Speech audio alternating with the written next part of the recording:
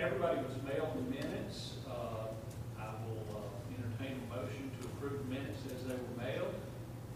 So moved. Is there a second? Second. Any corrections or, uh, uh, to the minutes as they were mailed? No further discussion. All in favor, say aye. Aye. Opposed? All right. Uh, There is no official action today for the board. Uh, This is our, uh, our favorite day of the year when we get, I know it's mine, this is St. Mark's Day. And, uh, and so uh, uh, the, uh, in in honor of the season, uh, next year's budget will be resurrected. And, uh, the, uh, um, So I'll recognize Gabe. Thank you, Chair. Um, I'd like to recognize Mark Walker, uh, Senior Vice President and CFO on the bond refinancing we just recently completed. So, Mark? Okay. Uh, Commissioners, you will recall, back in February, we came to the board requesting authorization to refinance uh, $415 million in outstanding bonds for all four systems. Uh, The sale of the refunding bonds has been recently completed. Uh, We did it on two days in late March, and the results were very good, um, and actually better than expected. So I'm pleased to be able to share those with you today. Uh, We sold the electric and gas refunding bonds on Wednesday, the 24th of March, and the next day, we sold the water and wastewater refunding bonds. And we split that up over two days in order to, I guess, more strategic thinking of- about maybe you get more bidders and better bids, because it is a large amount of bonds, and so we've done that in the past sometimes when it's large issues, split it up over two days, so that's what we did here. And I think that maybe proved to be successful because we did have a lot of interest, a lot of bidders on the bonds, a lot of good bids on the bonds. I do want to point out that, uh, as you would expect, we're not extending the life of the debt that's being refunded with the new bonds. In fact, it's shortening up a bit, uh, in particular for, for the gas system, and we'll see that here in just a few moments. But now for the really good news. The, the total savings on the refinancing is just under $80 million, and that's for all four systems combined. Um, When we came to the board in February, we were projecting a little over 69 million, so we bested that by over 10 million. So we're very pleased with that. Wastewater is the big winner there with savings of over 47 million dollars. It- It's also important to note, because we'll see it as we go throughout these slides, that uh, how the savings is taking place. It's taking place through principal savings as opposed to interest cost savings. And so when we put the notice for the underwriters, the potential bidders, how we wanted them to bid, we were expecting a little bit higher coupon rates or interest rates on the bonds in the 4 to 5% range and above market. In exchange for that, we were asking for premiums. So these are premium bonds, and we received a total of about $80 million in premium. So what do you do with that premium? You would apply it towards paying off the outstanding debt. So the bottom line is, we sold 336 million in new bonds to refinance 415 million, or pay off 415 million in outstanding bonds. So we reduced our principal by a little over 79 million dollars, which is a big deal. Mark, can you uh, tell those of us who are uninitiated, uh, the, uh, that what's the difference between a premium bond and a regular bond? A premium is when the underwriter, in exchange for a higher-than-market interest rate, is going to give you cash up front. That's the premium. And then on refinancing, you're required by, by the Treasury, you can't just say, oh, we'll keep that money and spend it on something else. No, it has to be applied towards paying off the, the refunding, uh, the bonds you're refunding. So-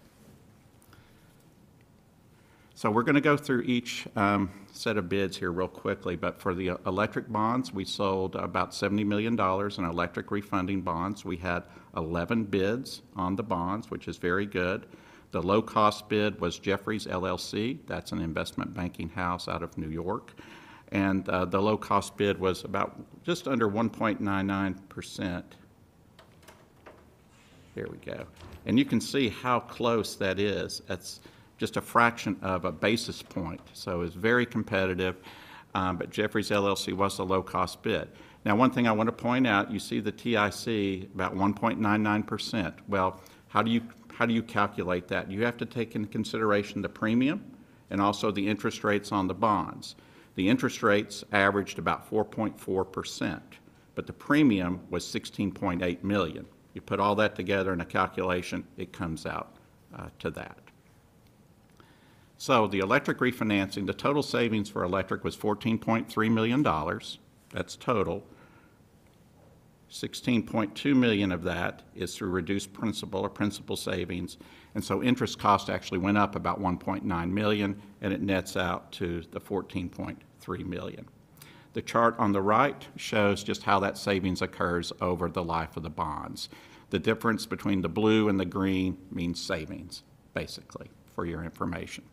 These bonds will fully mature in July of 2044, but are callable by July of 2032. And that is a key point, because how we structured this, with those higher interest rates, you really preserve the opportunity to refinance in the future, albeit it's uh, 10 years out from now. But if we had gone the other way and just not gotten premiums and got nothing but interest rate savings, the opportunity to refinance in the future is essentially probably nil, I would say. So that's electric. Gas, we had 12 bids in total, 42 million, just under 42 million on gas refunding bonds. Low-cost bidder, JP Morgan Securities, and the bid was about 1.4, little, little over, little under 1.47% TIC. Um, It's lower than what you saw in electric because the duration of the gas bonds uh, is shorter. These bonds will fully mature in 2033, electrics 2044. So that plays with your, your TIC as well. The average coupon rate on these bonds, 4.4% also, but we received 7.2 million in premium. And on the gas refinancing, total savings, $7.9 million. 7.2 million of that is in principal, $700,000 in lower interest cost. And I did want to note, you can see on the old bonds, those were due to mature fully in March of 2035. We actually moved that up two years, and that's a good thing for, uh, for the gas division's debt profile. On water, this is where we received a record number of bids for a KUB bond sale with 13 in total. Uh, Again, very competitive, 1.90% true interest cost. The low-cost bidder was Piper Sandler. That's an investment banking firm out of, headquartered in Minneapolis. Um, The uh, average coupon rates on these bonds, 4.3%. The premium we received, 8.1 million. And the total savings on the water bonds, here we did get some interest cost savings. Uh, The principal savings is $8 million. Interest cost is 2.2 for a total of 10.2. And you can see the majority of that savings is going to occur in the next 10 to 12 years. These bonds fully mature in March of 2044, are callable by March of 2032. And then finally, for wastewater, this was the big one, 191 million in wastewater refunding bonds. The low-cost bid was from Barclays Capital, also about 1.90%. Here, we even had to take out the digits further to determine the, the winner. You can see how close that was with Bank of America. Um, The average coupon rate on these bonds, 4.27%, but the premium, and it's a big one, $47.1 million, $48.1 million in premium we received. And so wastewater really is the, the great story here, I think. The refinancing saves a total of $47.2 million, but 47.8 million of that in uh, principal payments. And so today, if you ask me, how much outstanding wastewater debt do we have? The answer is 524 million. Monday, when the funds flow on all this, it drops to 476 million. And you know we have some debt reduction goals for the wastewater division. We'll talk about that a little bit later today. We're well in advance of, of achieving those goals, thanks, thanks to this, and thanks to your support in letting us do this refinancing. These bonds fully mature in April of 2049. I know that's a long way out, but they will be callable by April of 2032. Mark, have we ever um, done a, um, a premium refinancing like this one? Not to this level of significance. Often, in, in this case, we actually sort of forced the premium, in that we made it known to the potential bidders, the underwriters, that we were going to be, we wanted you to bid coupon rates in the four to five percent range. So by doing that, they had really said, okay, well, we're going to free, give you cash in exchange for the difference in the interest rates. So we really, this is the first time our recall is really forcing it. It has happened in the past just by the, the way things go, whether it's a refinancing or a new money issue in that regard. Um, But here, it was, we really wanted this to happen. It was more strategic in this case. So if, uh, By the, by, by you, Mark, and the, and our advisors in putting that together, because that doesn't happen very easily at all. Yeah, a lot of work went into this, and we're really pleased. You know, we have some good partners in this. Cumberland Securities has Right. been our financial advisor for a long time now, but they, they really, you know, were all over this and, and helped in obviously making this happen. Great. if I understand correctly, the key here is that we could have gone out with a traditional uh, request and gotten a 1.9 or 2% uh, You got it. interest rate. That is but correct. That's so low that we probably wouldn't, 10, 20 years from now, the chances of us being able to That's refinance correct. that is not great. So this, this gets us both cash on the front end and a chance to refinance at a lower That rate. is correct. Okay, that's got it. good. That's, that's Yeah. pretty terrific. Yeah. So final slide, just um, uh, disclosing to you the fees that we paid to all of our partners associated with making this uh, sale of, this refinancing happen. FA is Cumberland Securities, our bond counsels, Bass, Berry, and Sims. And then, of course, the rating agencies, we use Moody's and Standard and Poor's to, to rate our bonds. The total price tag of that's just under a million dollars at nine hundred and ninety-six thousand. That is a bit higher than in the past, but on a per bond issue, par value of bonds, it, it's not, it's competitive. And um, you, you talk about return on investment, anytime I would spend a million dollars to save eighty million dollars, I'll, I'll take that each and every time. But, uh, so anyway, uh, appreciate all your support on this, and we're very pleased with the, with the results. So I'd be happy to answer any questions you might have. Questions from anyone? Okay. Oh, yes, yes. Um, We have the, uh, a final official statement on the refunding bonds in this big notebook that Jerry is holding up before you. Uh, We do make that available to any board member that wants to uh, look at it here today or take it home with you, um, which I know John's already grabbed it up. Um, I'm not surprised by that. And then it's also available for viewing by the any member of the public that's here. And we will be, po- we will be posting that on our website later today Very as good. well. Thank you. Um, There's no additional action for the board today, but before we adjourn the board meeting and begin the financial workshop, is there any other business or are there comments from the commissioners today? Okay. Are there any members of the public who wish to address the board today? Don't see any. All right. The board meeting is now adjourned and we'll begin the budget workshop. Gabe?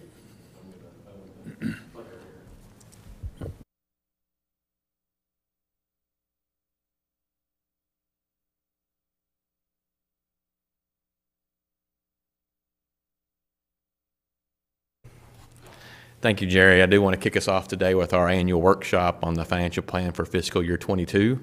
Um, But we'll begin, first of all, with, with the uh, blueprint, and I want to spend some time on that today because this is what guides everything we do at KUB. It's very important to us. We've had it in place for about seven years now, and we refer to it every day in every decision we make. So I want to talk a little bit about that. And if you look at the very beginning of it, the, the vision, the first six words say it all. We exist to serve our customers. And we do that with the utilities we serve, both that are safe, reliable, and affordable. So that, that vision, that mission really says it all. A vision speaks to our stewardship. Given this last year and how tough it was, has been on our customers and everybody, stewardship was even more paramount. And so we did a lot of things in a, in, in a hurry 13 months ago to adjust how we spend, adjust how we work, adjust to uh, serve our customers. And, and so, you know, these things didn't even, you know, even during the COVID crisis, it, it served us well as a guiding principle to us. Our values on the far left, you'll see our shared values. That, that kind of speaks to the things we do every day. You know, those, those, are- those give us the guiding principles as far as how we just operate and, and, and serve our customers. And, I'm proud of our employees and what they've done through these tough times and how we've been able to fulfill what this has been saying to us for many years.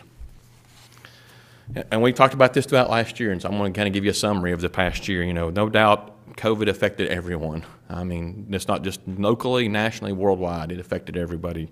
And, and as you know, KUB is in the business, so we can't shut down, we can't slow down, we can't really change our business as far as how we operate every day. So as they say, the show must go on.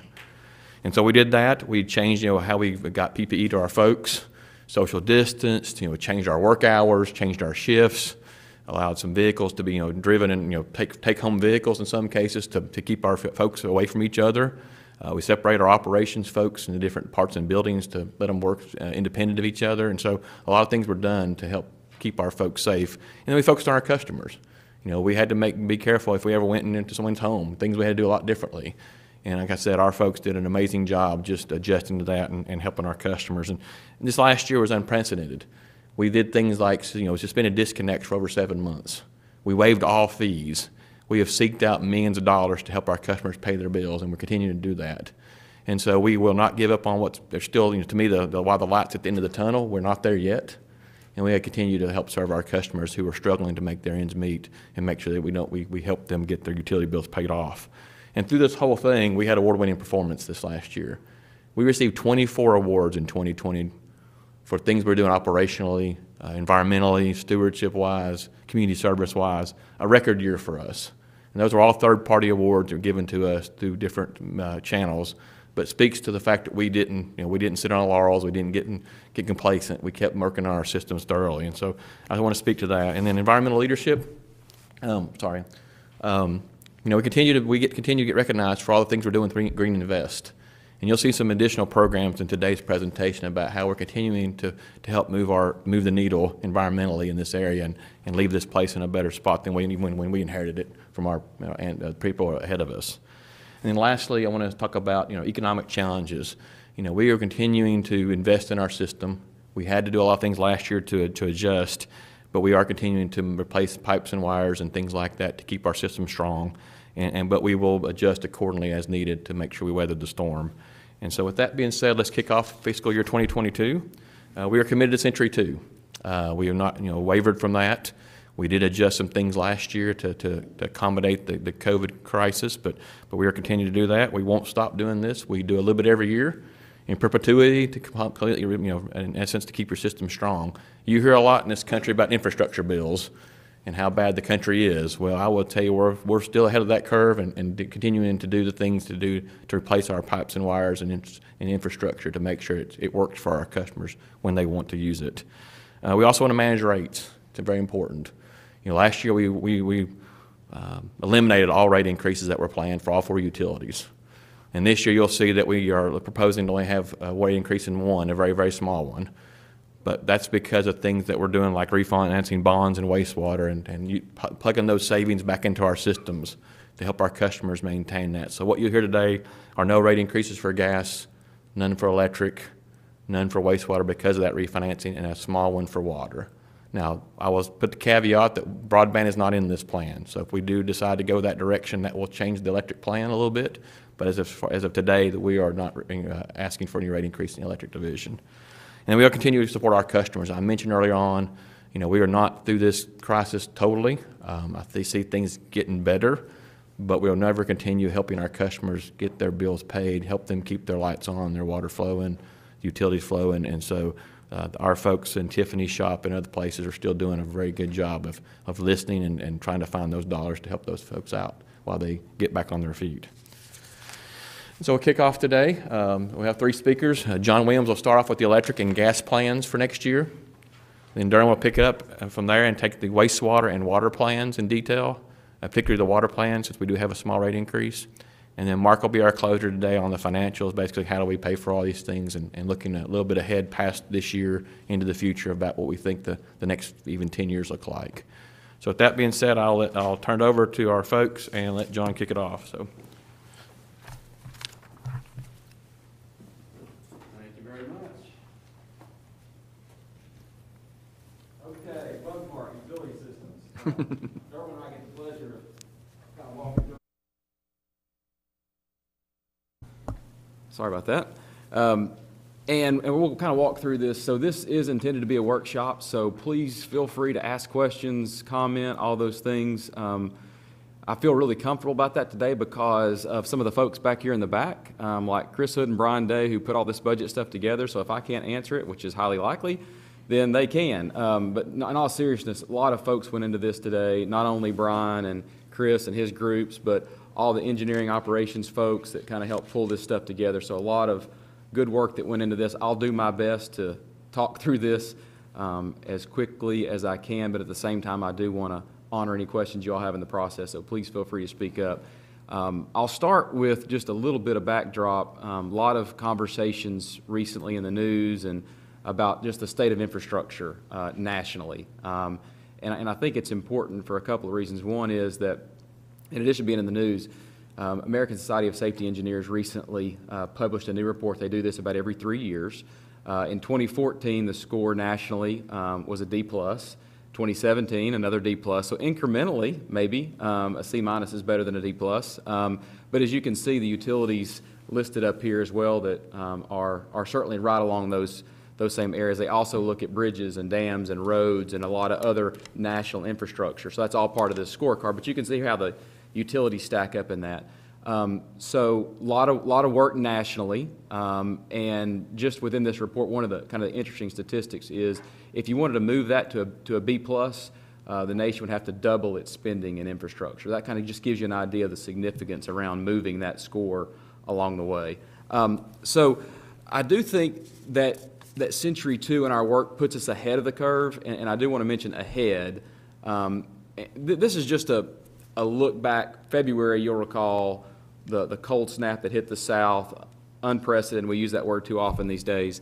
Um, but just some accounts in Memphis and in Texas, Shreveport, Louisiana, Jackson, Mississippi, about how they were impacted, those communities were impacted, how the cold impacted their infrastructure that then impacted their folks. So everything from, from boil water alerts you'll see along those areas. Uh, I thought the mayor in Shreveport really kind of summed it up very nicely when he said, uh, old aging infrastructure just like most American cities. Um, so this is not unique to any one of these communities um, and, and certainly not intended to cast any negative light on these communities. It is a national, a national issue. Um, and with that, though, um, you know, one of the unfortunate realities when, when infrastructure fails is those who can go someplace else um, are, are less affected than those who cannot. So seniors, um, those with disabilities, um, those without the financial means to pick up and, and go somewhere else are impacted more. And the unfor- and unfortunate story in Jackson, Mississippi, and one of the pictures there just kind of shows what those residents had to endure um, and having to wait over a week to even have access to water, uh, and then the means by which they had to collect that. So just a, uh, just kind of a deepening understanding of, of the importance of our infrastructure. For, for years, we, we always talked about kind of, we want to be taken for granted, right? And, uh, and want people to expect reliability and quality and all those sort of things. But, but certainly nationally, um, it's, it's been more of a challenge of late. Um, I mentioned we are ahead of the curve, um, and that's because we started sooner. Uh, we're certainly not immune to any of these challenges. Um, our systems are still aging, and we have a long-range plan to address all those things, which is what we're here to talk about today. Um, but we are ahead of the curve, and we'll kind of step back just a little bit as we go through this and kind of talk about the history, how Century 2 has evolved a little bit in each of our systems. Century 2 has a different flavor for each of our systems, um, and we'll kind of walk through the uniqueness, but there's some, some cornerstones to each. Um, and we'll work through those as we go through this. And then, as, as Gabe mentioned, as I talk about electric, which is next, this is really uh, absent any any funding or anything related to broadband whatsoever. So just keep that in mind as we kind of walk through this. Um, yes, ma'am. um, do we have an internal report card that we give ourselves? No, we don't, and we've we've wrestled with this question in the past. Um, I I think the best way of describing it is we're we look at Century Two. A lot of that began in kind of you know 2000 mid 2000s, and then in electric funding began in 2010. I think we're 10 years ahead at least of most people, if that makes sense. Um, when you look at the wastewater system that Derwin's going to talk about, you know, with, with PACE 10, um, you know, we had to, to really rapidly improve things. So, you know, I don't know what the score would be, um, but I do like to think that, that we have addressed some of the high priority items earlier. And as you talk about how Century Two's evolved, we're now getting into more strategic and, and priority-based decisions as opposed to fixing what's, what's about to break or what is breaking, if that makes sense. It Um. And I, and I will, and I will Yeah. add to that, what you'll see, that's a great question, uh, uh, Commissioner Herbert. Uh, What you'll see through every utility, though, you'll see where our numbers are getting better, whether it be breaks, whether it be reliability, whether it be, you know, you'll see that throughout the SSOs. There are different things we measure, but we don't put a report card to it. It's a very interesting question. It makes me wonder about that thought. But everything is going in the right direction, so tells us, at least anecdotally, we're doing some things in the right way. But a good question. Thank you for asking. I think you have to balance the effort it would take to produce it against the benefit, but I tell you what, if we could, use, if, if they were to come in, that same organization that gave the United States those, those uh, grades, if they were able to come in and use the same criteria to judge us, it'd be neat to see whether or not we were at a B minus or we were at an A or whatever, just, but again, you have to balance the cost and, and, in time and, and effort against the benefit, but No, you're exactly right. it'd be great, great for, us if it comes out well, it'd be great for us to be able to tell the Well, public. And anecdotally, and I'll, I will say, well, while Brad, there's a couple slides in here where I'm gonna brag on our employees. Um, but, but Gabe mentioned the awards. I, I think that's a basis to, I think you, you can provide a lot of different things and kind of toss it in there. And while not one thing will give you the perfect score, but the fact that we are, I'll talk about, you know, diamond level, um, RP3 for the electric system and all, you, you kind of get a sense that, that maybe we're better than most. We may not be, we're not out of the woods, still working, so a lot of work, but maybe better than most in those areas. So, um, at least I like to think that. Um, I know our, our employees certainly work at that level. Um, You've seen this many, many times, so I'm not going to talk through this very much, other than uh, to point out that we, you know, have, currently have nine in-feed stations. I'm going to talk about another one that we're going to put in this area right here later on in the presentation. I think you've heard me mentioned that before about Western Avenue uh, Substation. I'll, I'll talk about that, but just geographically, that's where that's going to be at. Um, But certainly, that's just an overview of the electric system. Um, And so we'll just kind of walk through here. As you all know, when it comes to the electric system, uh, reliability is our north star. So everything that we look at um, is, focused on, on safety and reliability. Um, and as you look at that, we, we try to always, you know, talk about, so what's causing things when it's unreliable or when things have outages? Uh, and really, vegetation continues to be um, the number one cause of outages. You can see there about 56%.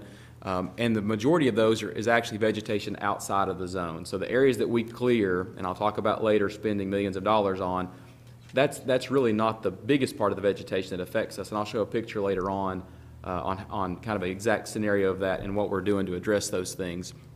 Uh, certainly, all the Century Two infrastructure work that we're doing uh, is a big part of that. A lot of maintenance, a lot of things that go on, uh, and grid modernization. We'll talk about how that's playing in um, to the future because it really is Century Two plus grid modernization for the electric system in particular that's going to help us uh, make reliability better into the future.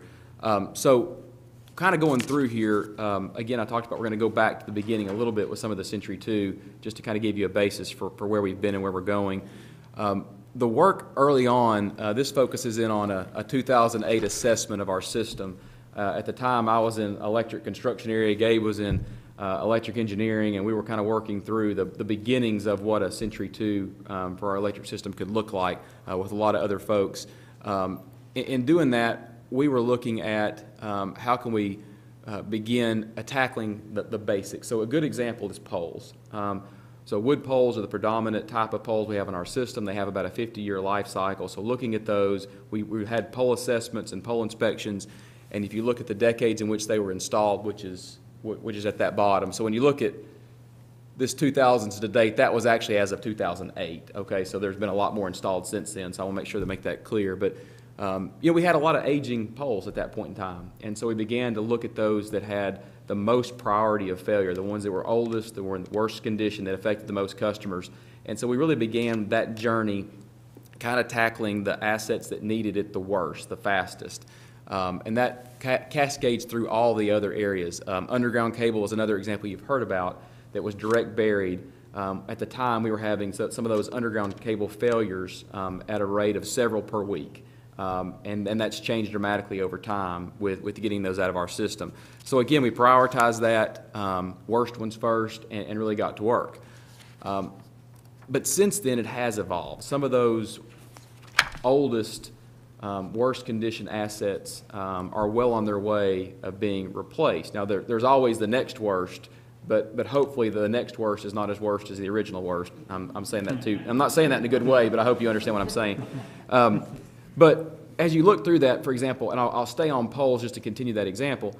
So if you go with a, a life cycle replacement rate of 2%, or, or every 50 years, you know, 50-year life cycle, you know, replacing it just in time, um, that worked really well early on. Um, and I'll show you that, you know, we've replaced um, over 23,000 poles now, but now as we look at things, we're looking at it much more holistically. So instead of looking at individual pole conditions throughout our system, we're now looking at circuits. And we're looking at what does it take to make this circuit more reliable. Um, and some of that is indeed upgrading and changing out poles. It may be line size. It, it may be grid modernization and, and our new FLISR technology and, and automating circuits. It could be strategic hazardous tree removal. There's a lot of different factors that now go into that. And so when our, when our groups, our electric stewardship team and operations and engineering get together to look at planning our work, they're bringing all these factors in as opposed to just simply looking at the age of an asset or the condition of an asset. So that has truly evolved. Um, Another way it's evolved is, is in how we are managing our costs and being able to get more done um, with, with our, our maybe smarter thinking. Uh, So for example, with substations, instead, again, looking at the age of those transformers, we do tremendous maintenance, um, you know, in our, in our systems, and they take great care of our systems. So some of our assets frankly last longer than what the industry would recommend because of how well we take care of them. Uh, and when I say we, I mean those that are actually taking care of them. Um, but they do such a good job, and so by looking at those and, and doing inspections, checking oil levels, infrared thermography, we're able to stretch out some of those replacements for those assets and by, by doing a really good maintenance. Um, and that saves us money in the plan and, and extends the life of those assets. Um, so, you know, a lot of, a lot of really good work in these areas. So, so just some accomplishments overall. So substations, um, over half of those are complete, uh, and I'll show you a map here in just a minute that kind of illustrates that. Again, over 23,000 poles replaced so far, um, and we're doing a, a pole inspection currently um, that I'll talk about in a moment as well that will help us. Um, over 90% of our direct buried cable um, is, is now out of our system. Uh, we're working through that over the next few years. Um, but then the next thing will come up, which is the cable that's in conduit. Easier to get to, more efficient, less expensive to replace. Um, but it's been in there um, for a while as well, and it'll be reaching its end of life as well. So looking at that next. And then certainly we talk a lot about this. I'll show you a map uh, of where we're at with our transmission lines, uh, where we're at 145 miles so far replaced of the 266 in our system. Uh, So here's the, the map, wait a minute, back up here. Uh, Before I get to the map, um, I talked about grid modernization and, and how it, it, it ties together with Century Two. Uh, and this is really where that different way of thinking and looking at things comes into play. Um, this picture was taken on March 24th. This is one of those out of the zone trees. So if we, we talk a lot about this. This picture um, was, was sent we had this outage. This is um, over in the Pleasant Ridge Schaad Road area, uh, affected uh, 3,700 customers that were out.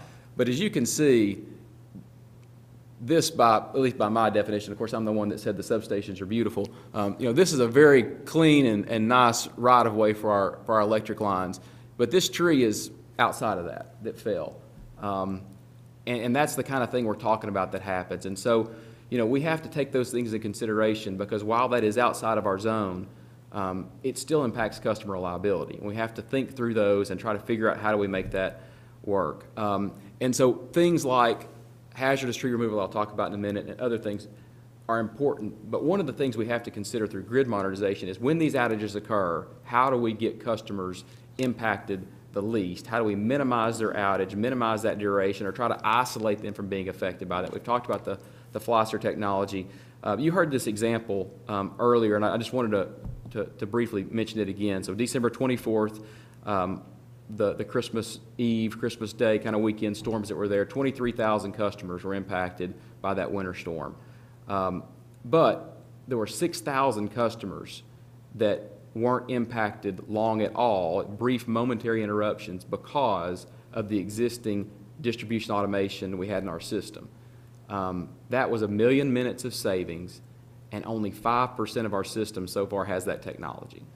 So I say that is that with, with hope and optimism that in doing this and investing in these technologies, we, we, we believe that that's a huge savings and reliability over time for our customers when things like this happen. And some of these we'll be able to find, but as you can see in that forest of trees, finding the one that's going to fall next might be difficult. So how do you respond to that? And this technology is going to help us moving forward. Um, along those same lines with vegetation management, we are increasing our funding in the plan for that um, and ramping that up. Um, in fiscal year 22, 12.9 million. Um, that is, a million of that is for our capital projects that we'll talk about with our transmission or distribution upgrades. The remaining part of that is just simply circuit, vegetation management, and, and trimming in our system. Uh, we are returning to about a 1,000 miles per year uh, in the system and then adding in some of that hazardous tree component Um, And we're looking at that in, in smarter ways as well. We've strategically insourced a few things. We've talked before about our foresters uh, and bringing those in-house. We think that's going to help us a lot with our planning and our inspection. We've also got a crew now dedicated to this hazardous tree removal and what I would call unplanned uh, trimming needs that we have, depending on the project and what's going on. So all that is, is helping us, we think, uh, deal with that number one cause of, of outages in our systems. That, that's one of the, the tools we'll be using moving forward uh, and continue to assess that. Um, I promised the maps, and I wanted to get there so fast earlier, I, I indicated it earlier, but this just kind of gives you an indication of, of what we've done since 2007 um, with some of the transmission and, and the substation work through Century Two. A lot of colors. I'll just kind of quickly walk through this legend. Um, Hey, and I- John. Yeah. Tyvi here. Uh, listen, so when you talked about five percent, you, you said, you call them splicers or the switches? Slicer. Flicers. Yes, it's. So what, what's the process? So if, if, if flicers are pretty effective at, uh, disrupting the out of service time for customers, what is the timeline or process to get additional splicers in so that no matter where it happens, that customers will have minimal disruption? So, it's a great question. It's, it requires a couple of things. For one, the, the first few years we put them in place, we were piloting the technology. And so we have very complex uh, systems where we will have eight, nine, 10, 12 FLISR units on a circuit that coordinate uh, and work things. We have some that are very simple with just a few devices on the system that kind of split the circuit around. We've, we've piloted that technology. Depending on how complex it is, it takes more time and effort because there's a lot of different things involved. So one is just the physical purchasing of the devices and hanging them on the systems, but then um, some of Derwin's folks that are in our station management services group have to program those because there's a lot of technology to, to tie those together. Um, so with that in our plan, and I'll walk through this, some of our distribution circuits, we're adding those in as we go. Um, and so it's really a pace functionality, and it, it- it's an, as we look at the circuits we're planning in fiscal year twenty-two, each of the distribution circuits that we're upgrading will have this technology, a flavor of that. It'll be some level of complexity on that circuit, depending on how it's designed, how many customers are impacted, the density, all those sort of things. Um, it took us three, four years now working with FLISR to get five percent. Does that sound about right? And so that's about the pace. So maybe one to two percent per year if we're on the same pace. We've, we've historically had about a million dollars a year in the plan for this type of advanced technology as we move forward. Um, and, and so that's the, the plan moving forward. Where we're placing that technology, though, is on the circuits that are, have the, the worst reliability numbers. Um, and so we take all that into consideration when we put these in place. So we're hoping to affect reliability a little bit more by putting them in those areas. Uh, Commissioner, you may recall, um, last month, we did the presentation about the enhanced grid modernization that enables broadband, and it was like $700 million for the electric system. Um, That included full deployment of FLISR throughout the system, actually getting up to 1,200 devices. So um, that's, in- you know, part of that $700 million uh, price tag on that. Um, So just so you know, we have been looking and and thinking about that, and uh, Obviously, if we, if we get that funding, or if we go forward with the the broadband plan, you're going to find a lot, lot more of those devices out there. Yeah, because as I think about it, and uh, when we deployed the, the advanced meters and how that was such a smart, directed, intentional activity in which to provide, in in which to provide us data, I think also if you think about this, I think FLISR's would be the kind of that second level of that mm-hmm. where it's, mm-hmm. it's absolutely critical and it's absolutely necessary for us to do so that we can, we could improve our reliability. So when, when and if a tree falls, I mean, people see minimal disruption, and I think that's really, uh, in my estimation, a big, a, a, a- a big activity or initiative that we should, we should certainly think about in terms of people's reliability. Yeah. I agree. Yeah, No, no it- doubt. it's exactly And, what the and- plan- and what you'll yeah, see yeah, in this you're right. plan, and I think it's similar in all of our utility plans, is trying to find the right balance of Right. still caring for our infrastructure Right. And still keeping that steady drumbeat of, of Century Two kind of fundamental replacement, but also leveraging the technology as we're doing that. Um, So it's a balanced plan, and certainly the, the one that, that Mark indicated is more aggressive in that particular area as you go, um, for, for obvious reasons. Uh, But no, thank you for that. So this, this legend is a little bit complicated, um, and the next slide, I promise, is simpler, but I want to make sure you, you kind of get this piece real quick. So the substations that are clear are the ones that have not been upgraded yet. Um, so you may ask, so why? Well, those are just further out in the plan. Um, oftentimes, they're, they're newer stations or are, are stations that don't have capacity issues right now, may not have the operational uh, flexibility needs that some of the others do, but they're, they're further out in the plan. Uh, We have two new substations since, two- or in-feed stations since 2007, uh, Volunteer in East Knox in red, uh, two new distribution stations, uh, Dale Avenue in the Fort Sanders area, um, and then Cherokee Trail there at UT, um, that were added as part of the plan. The, the yellow and the green circles are those that have been upgraded um, or improved in, in some, some way throughout the plan. Then as you turn to the lines, uh, the purple ones are those that have been upgraded, so tho- that 145 miles of transmission lines upgraded with fiber that we've talked about, those are the ones in purple. Uh, The the ones that are not in purple, that are in black, are the ones that are in the 2B that are out there in the plan further out. This next slide is just a little simpler. So everything that's been done is purple, and yellow is to come. So hopefully that'll be a little easier as you look at the fiscal year '22. Um, And so you can kind of see some of the areas I'll be talking about, um, you know, Millertown Pike area, Halls area, Union County, Morrell Road, uh, down here at the bottom as well. Substation upgrades, um, you can see Walker Road, Middlebrook, um, Fountain City that are in there. And then the new Western Avenue substation I mentioned there that's, that's indicated in the star, um, that we'll kind of talk through. So just geographically, you'll get an idea, um, that in addition to looking at this, we're also, um, you know, doing work throughout our entire system. So let's first talk about uh, the new Western Avenue in-feed station. Um, you- You've heard me mention that before. That does add some operational flexibility and capacity uh, in our system uh, in that particular part. Again, that's right off Western Avenue um, in the uh, Cumberland Estates area um, of town. It's really an ideal location, and I I got a, found a better picture um, than you may have seen before. This is our existing Dolltown station uh, that's already there. the- And, and then, of course, this is the property we're going to be building the station at, right along Western Avenue. It's an ideal station because TVA's transmission lines already run through here. Um, And so it's a place for them to be able to build a switching station as well, uh, and to put their equipment necessary for our in-feed and for their, um, for their work as well. Um, In the plan, um, across several years is $17 million. In this particular fiscal year, fiscal year '22, we'll be spending three and a half million. That's mostly for the site work, the beginning of the structural work, and then you'll, after that, you'll see a lot of the equipment um, purchases, which is uh, certainly uh, heavy in the plan. Uh, I mentioned this before as well, we're having a public meeting. Uh, The date has been selected for April 29th, and this is just a chance for the residents in the area, about 1,100 mailings uh, are going out today, in addition to social media updates as well, uh, just to kind of talk about the, the impact. We do this for all of our major projects uh, that impacts our community. Um, We'll talk about and show them some renderings of the site, different views as to how they will see that um, in their area, and obviously, the the reliability benefits from, a- from an electric perspective um, that are there.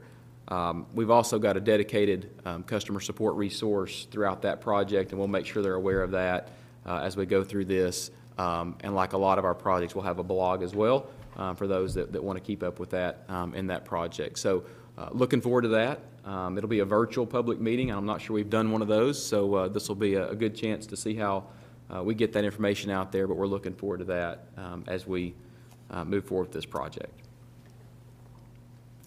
Moving on to some of the transmission and distribution projects in fiscal year '22, um, right at 11 million in, in the transmission lines.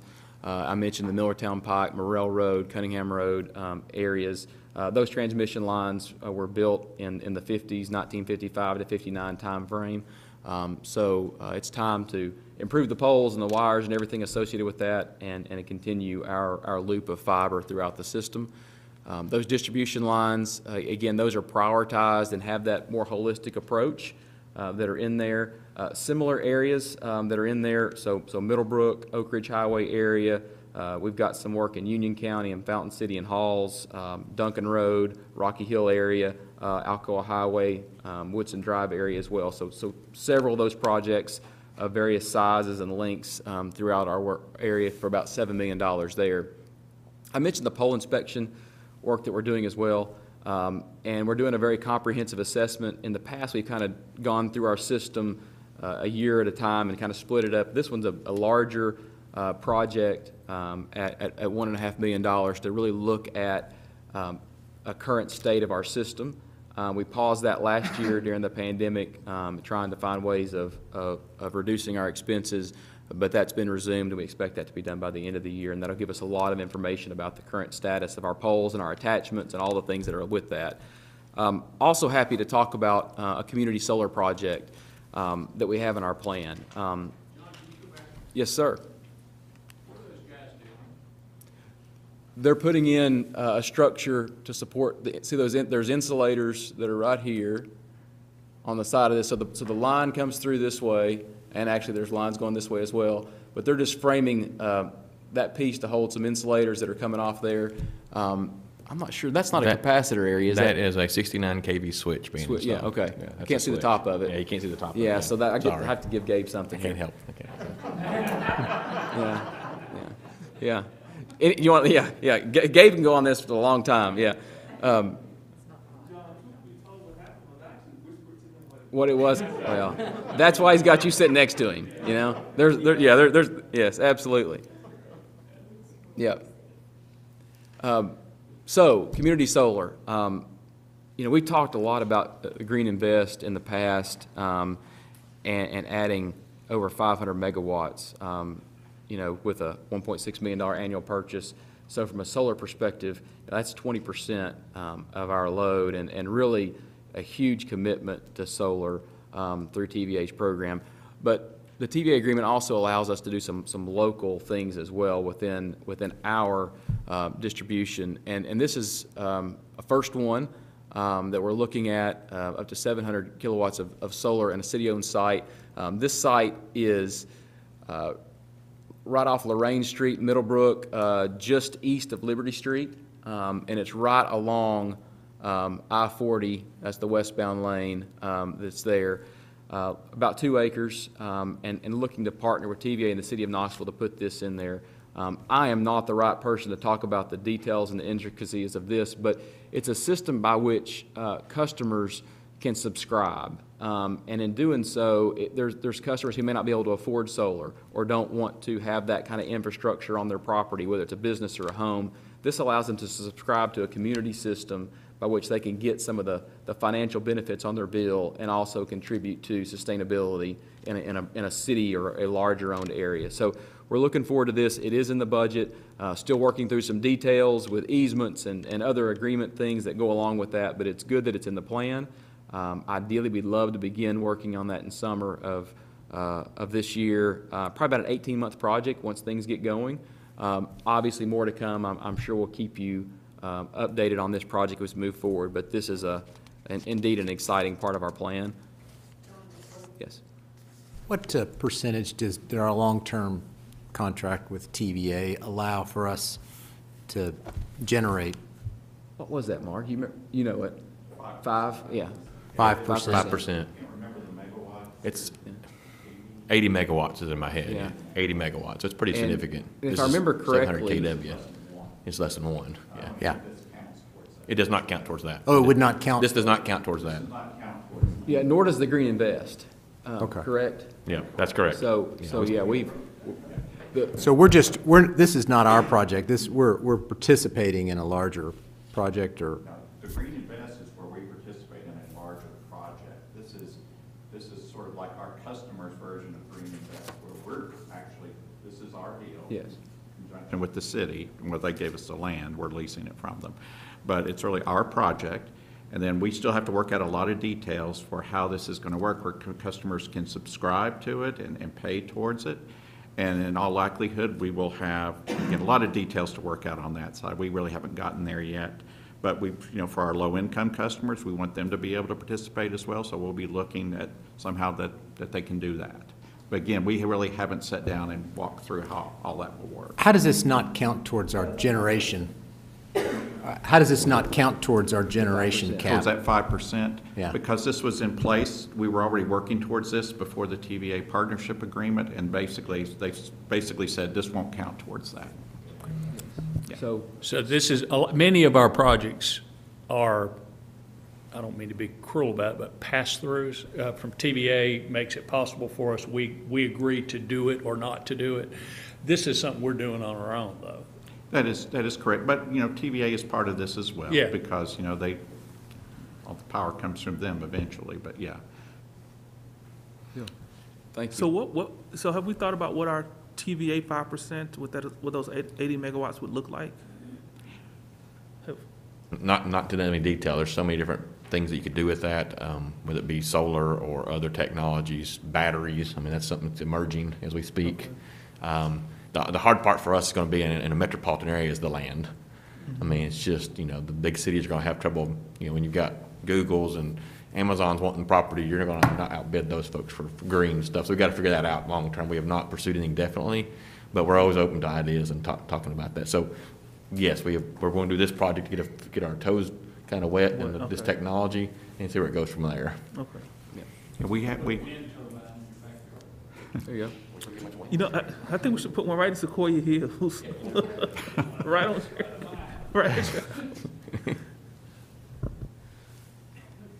Okay, so we, we talked a lot about, I mentioned, you know, grid modernization. So grid modernization plus Century Two is really our path and on, on the electric system uh, to improve reliability, to move things forward. Um, Fiber is obviously key to modernizing our technology, our, our facilities, um, working those things through. Um, You know, customer reliability expectations are changing very, very rapidly. Um, We know the impact of, of what the pandemic has had on people working from home and people having school at home. We've talked about the, the, the broadband piece of that, but just from electric reliability fundamentally, having that uh, reliability while you're, while you're trying to do your business at home is important. Um, And then obviously the technology, we've talked about our technologies, but the technologies of our customers and the equipment of our customers is obviously more and more reliant on, on, on high-level, high-quality reliability. Um, And so as we continue to invest in Century Two and in grid modernization, it's going to open up future applications, not only for us, but for our customers. We've talked in the past about how it'll impact electric vehicles, potential use for batteries in the future, so forth and so on. So a path forward, and, and that is included in this plan and, and continues to move forward in that. Uh, I mentioned bragging on our employees. Um, this is the brag slide, um, really kind of looking at um, what we've done over the past. um, I'll start with, with Treeline USA. We've been a Treeline USA um, city uh, in the work that we've done for over 18 years. Uh, That, that continues. So as we continue to, to talk about vegetation management, we do so in a, in a safe and a responsible way. Um, And then also, um, from a RP3 perspective, um, we've received notification that we've got the diamond level certification yet again, um, which is just, really says a lot about the hard work of our employees because it, it looks at things across a lot of areas, not only reliability, but safety and workforce development, a variety of, of, of areas. So, so very proud uh, to mention that as well. John? Yes, sir. To, um, to speak to Commissioner Herbert's earlier question, it might be helpful if, uh, when we get something like the diamond level designation, to know how many systems in the United States uh, have that. Like only, only two percent of the, uh, uh, of the systems uh, have that. That, that might give us some Yes. sense of, uh, relative to the rest of the, co- Yeah, we'll, we'll know that. I think we, we've gotten, they announced the, they've announced it to us. I Yes. think they're announcing it at their annual conference This month. That's this month. This month, end of So when month. they release that, we'll have a better idea of who else is in that category, and then those, those that are in other categories as well, that are also doing a really good job. I, will tell you, there's about two thousand public power utilities in the country, and I know we're in the top one hundred. I can tell you that pretty, I'll, I'll get you that information pretty soon. Yeah, so, uh, that's a great, yeah, yeah, yeah. Yeah. John, before we move on from electric, you know, anybody that has social media has seen this comment. Um, You know, if our power grid can't uh, handle a storm, how is it going to handle everybody plugging in an electric vehicle? Um, And, you know, I think that as we progress through um, you know, talking about things for the uh, future and for budgeting, somehow that piece has got to get communicated to the, to the public, because uh, all the naysayers, that's the easiest thing for them to say. And I, I know people talked about these storms in Texas, and, you know, if they can't get electricity, you know, in a storm, just think about the fact that you wouldn't be able to even move a vehicle because you wouldn't have electricity. Um, it, it's something I think to keep in mind on our communication piece, because we've got to try to bridge that gap in some way. Yeah. No doubt. I think certainly one of the more reasons why the reliability is critical, making sure that our system as, is as hardened as possible when storms come through. Um, Just anecdotally, kind of going back to how Century Two has changed things, when, when I was working in electric construction, we would have normal spring storms and we, we would work overnight and into the next day on, on just a normal, typical spring storm. And as we began to increase our funding in vegetation management, beginning to change out those worst poles, things just began to change. The crews noticed it. Um, and they would comment that, that things just don't break like they did years ago. Um, now, last few years had a lot of, you know, wet weather. We've had, you know, some big storms. We've had some things. We're not immune. There is no doubt about that. And when, when Mother Nature um, brings her best, um, our best sometimes isn't good enough. Um, you know, and, and that's okay. We're, we're working toward that. But um, I think you raise a really good point. From a capacity perspective, um, we feel really confident about our need to serve electric vehicles and all those sort of things. And, and, and honestly, I think with the EV rate and other things that are out there, um, there's some great opportunities for everybody. Uh, but certainly, continuing to invest in Century Two and tying the technology through grid modernization is going to help us solve that issue uh, over time. I have one question before we move on. Um, Hearing on the news and, and kind of reading, not reading through, kind of glancing through the president's, um, piece of his budget. And I'm just wondering if there's any, um, when he talks about broadband, um, are there any incentives for utility companies? And, and that's just high level, I know that's out there right now, but are you hearing anything about any incentives for, um, utility companies going forward in this upcoming administration? There were a lot of things, and Gabe, you're welcome to jump in here Yeah, as well. Um, There were a lot of things in, in his infrastructure plan that came out of the White House that, that touched on everything from Century Two to broadband. It touched us in a lot of different ways. Um, We're optimistic that, that, that some of that will find our way. We'd certainly love to be able to um, use some of that funding to offset um, some of the, the- our debt and rates and things moving forward. It's just not clear yet what'll actually happen. Yeah, I know, Um, it's, it's up in the air for yeah, everything, so, but just. but we're watching it very closely. Very good. um, And, and for all of our systems, and, and our industry partners are watching it as well. Mm-hmm. Um, So yes, we're definitely keeping our eye on it um, as we move forward. Um, Hopeful for more, certainly. So I'll answer both questions. Um, Celeste, um, we're not worried about EVs, but we haven't been saying that, so let's just, let's be better about that. We, we, we'll take all they can put out there and we'll serve them just fine. So we'll, we'll address that. It's a good, it's a great point. Um, And then secondly, uh, Adrian, the, uh, I've been looking at it very closely. We are being a, a part of these, these big national organizations like AWWA, which is the Waterworks Association, APPA. They're giving us just, you know, every day I get an email, here's what's in the plan maybe, here's what the plan may be. So we're gonna keep a really close eye on water infrastructure, wastewater infrastructure dollars in particular. Mm-hmm. Broadband are the three that I hear the most, mm-hmm. that would impact us the most. And so I've made a comment to our staff, you know, we've gotta be on it and ready to go. You know, who knows who qualifies, but we gotta try.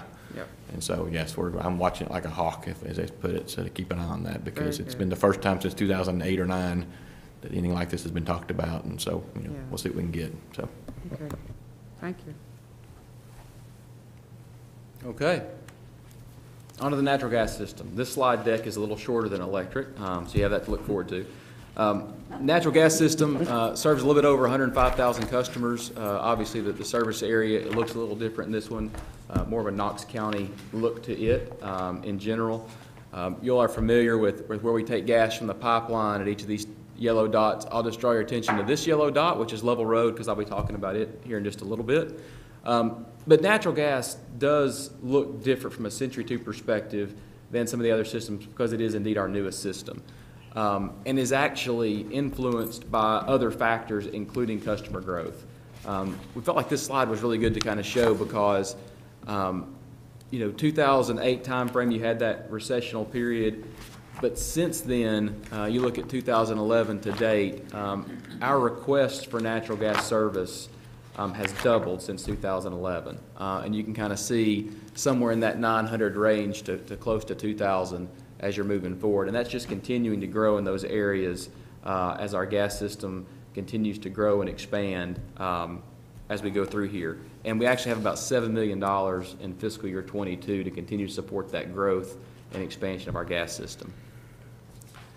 Um, These, these extensions really do provide customer choice um, as we move forward. And, and a couple of examples of this is in the Choto community, um, also northern expansion to Raccoon Valley and Hardin Valley, all last year. And then some of that work is, is obviously continuing uh, to go as well. Um, And so you have extensions to serve new developments, and you also have um, opportunities like Connect to Comfort, where um, as we pass existing customers, we give them the choice uh, of, of if they want to uh, go with natural gas as a fuel source instead of propane or whatever other fuel type that they may have, uh, and do that in a turnkey manner. So those programs are intended to really handle both of those things as well. Um, sometimes, as, as we pass people or get to people, it, it really becomes both an economic and environmental opportunity for some of our customers. Um, we've talked about how our, our public CNG station uh, helped some areas or some companies change from a diesel fuel mix to a, to a CNG mix. Um, and in this particular case with Duracap, um, that we were able to reach um, in the Raccoon Valley area, uh, one of the, the asphalt uh, companies in our service area. Um, but by being able to serve them with natural gas, we're able to see a 36% production in their carbon dioxide emissions um, because they're switching from diesel fuel so- sources um, to natural gas, um, which is a really big deal. And just a, a couple of quick facts here with that. That's 732 metric tons um, of CO2 reduced, um, and that's 1.6 million pounds of that. A parallel, um, for, for me to understand, is about 150 passenger cars removed from the road annually. Um, so a big deal, and it also saves them money. Uh, so that's a really good win-win solution um, when it comes to, to some of the work that we're doing with extending our natural gas system as well. These extensions also oftentimes, from a, just a system and Century 2 perspective, help connect our systems together and provide more resiliency and operational flexibility uh, throughout our system as well. I did mention that, that Century 2 does look a little bit unique and new um, or different with, uh, with, with natural gas. We oftentimes actually talk about our, our Distribution Integrity Management Program, our DIMP program, even more so than Century 2 with natural gas because it's really about e- evolving our system, making our system more resilient, um, and, and less about the age of the assets. And there's still some of that, and we'll talk about that in some of the projects. Um, but some of our older uh, pipe types like cast iron and ductile iron that you've heard about in the past are, are removed from our system. So now we're looking at, at, at how do we improve and replace and advance newer pipe types. Um, there's still some, um, this low pressure steel that I'll mention, that we still look at. It's still good pipe, it's still effective, it still works really, really well and reliable. But you'll see some work based on our inspections in this particular area in the plan uh, to continue to, to further our systems. I mentioned the, the DIMP program. Uh, you've seen this slide many times, just talking about how we know our system, prioritize um, our work, um, and, and really evaluate uh, how we're doing. Uh, that translates into programs like our low pressure steel program, uh, things like leak surveys and other things that we do. The resiliency program, that looks at how does our system most resilient. Our number one cause of uh, damage to our systems or is, is dig-ins. So we look at, this one particularly looks at, if we have a dig-in, um, how can we look at any single points of failure that reduces the impact to, to 300 customers or more? So those help us to understand where we can make our system more resilient, just like thinking about the electric system, to minimize that impact if someone was to dig into us or there's a situation like that. So some of the major projects for fiscal year '22, some of the low-pressure steel, you can see a couple of those projects that are there. We'll be spending 2.3 million in the plan uh, to continue to replace those areas that are more aging and in need of replacement. Uh, We've also got a couple of projects that are, that are capacity-related, uh, sizing of pipe-related. Uh, It could be some, some operational characteristics associated that- with that, um, and, and both of those are, are older segments. Um, John Sevier um, pipe segments 1968, um, Downtown West 1951. So just replacing some of those aging assets that are there at, at about two and a half million each uh, for those projects. Uh, Lovell Road's a little different. Um, That one's been on the horizon for many, many, many, many years. Um, And it's a, a potential Knox County Highway project to widen that section, um, and that just so happens to have that one large uh, in-feed station uh, that, that we get um, gas from the, from the pipeline. So really important to us for that particular reason. Um, So we've got money in the plan um, to relocate a section of that and to get out ahead of that project um, so that we can protect that section of our pipeline. Uh, Really not a lot of money in fiscal year '22 compared to the overall project budget, but just getting those design dollars, some of the easements out of the way and begin to, begin that process. So, so more to come on that, um, but it certainly, as you can see, but just by the, by the dollar amount of the project, looks different than the rest. John, Yes. quick question.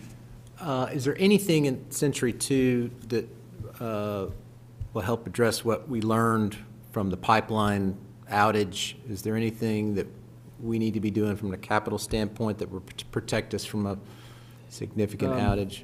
So yes and no, and, and, and Mark, you're welcome to, to chime in as well if you want. I think the, the pipeline issue that impacted us was really a pipeline, uh, thing that, you know, we had different points of delivery.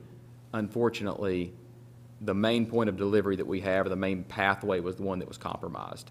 Um, and, and that's, you know, many miles away from us and really outside of our control. Now, with that being said, having our system more resilient, having more um, upgraded regulator stations and gate stations and ways in which we can move gas and adjust pressures through our system allows us to be able to manage that better. Um, And so as we talk about, um, I've got a slide here in just a moment that I think will touch on a part of that, about how we make our system a little bit more resilient into the future. Um, I don't know that it would, it would change a major pipeline issue like the one we experienced, um, but certainly if something was of a lesser degree, um, or we have more capacity constraints on the pipeline, it can help us manage that to some degree. That, that fair, Mark? Yeah, I, I think. Turned it on and off. Yeah, I think so. Um, you know, part of it is just, we, we only have one downstream pipe that we get everything off East Tennessee Natural Gas. There, there are different delivery points into our system.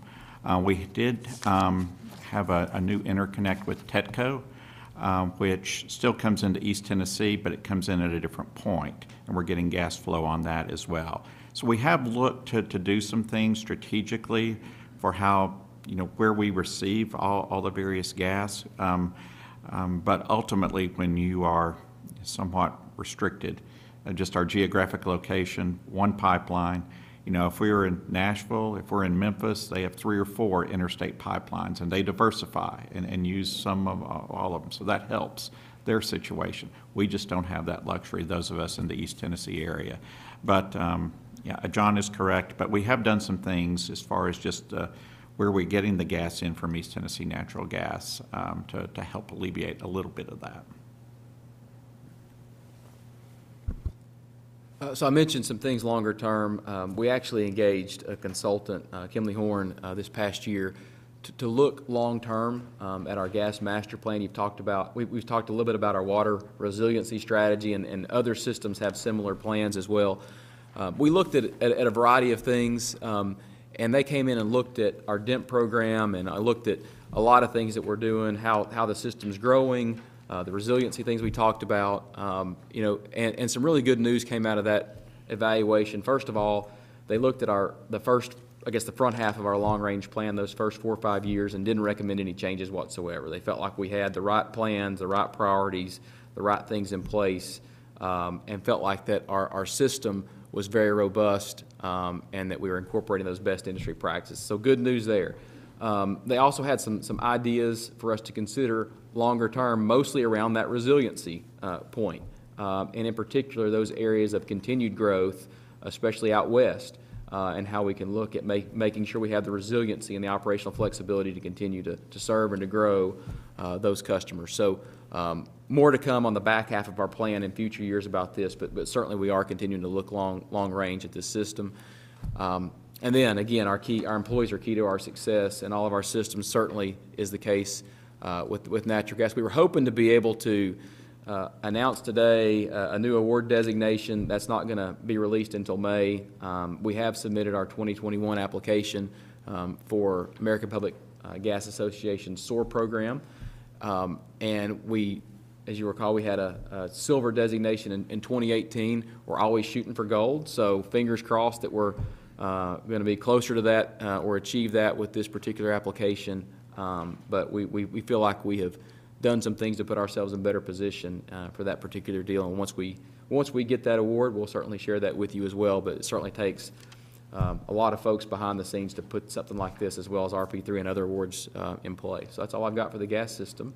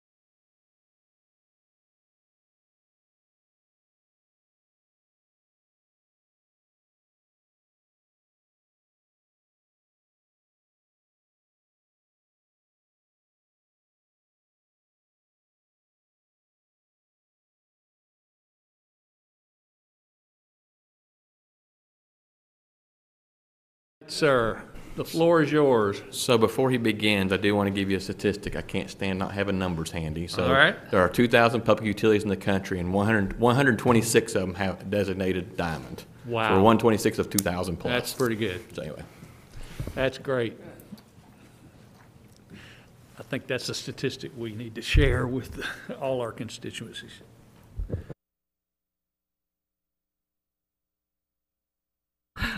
Um, The, um, today, we're going to start with wastewater, and then I'll follow with our wastewater, our water discussion. So um, you've seen this map before.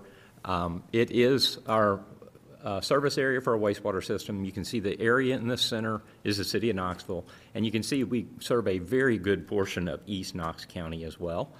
Um, We've got 63 pump stations, we have four wastewater treatment plants, and as you know, we also have um, six relatively new storage facilities for our wastewater system uh, as a result of the consent decree. Um, And we serve 72,000 customers. Um, We, we obviously have been, uh, overall, our attention on wastewater is on environmental stewardship. That's really overall our focus. Uh, But next fiscal year, I'll add, is, is extremely important for our wastewater system in that it's the final year of our consent decree. Um, And a- as you all know, heavy rains, floods uh, certainly impacts wastewater systems, and, and we're no different in that regard. Um, Much of the focus on the consent decree has actually been on reducing sanitary sewer overflows, so that focus just simply continues for us. Um, We're also, uh, in our plan, planning on uh, replacing our gaseous chlorine um, disinfection method at two of our wastewater plants, um, that Kuwahee and Fourth Creek. And what that does is we'll move to alternative, safer technologies than the chlorine gas. Um, Plus, in addition, we'll be upgrading pipes and upgrading pump stations throughout our system. So I'll take you back just for a second and remind you that uh, PACE 10 began as we began the consent decree in 2004. Um, And it outlined 134 specific projects that we had to undertake. Um, And then several years later, some projects at two of our plants were added to the consent decree as a requirement.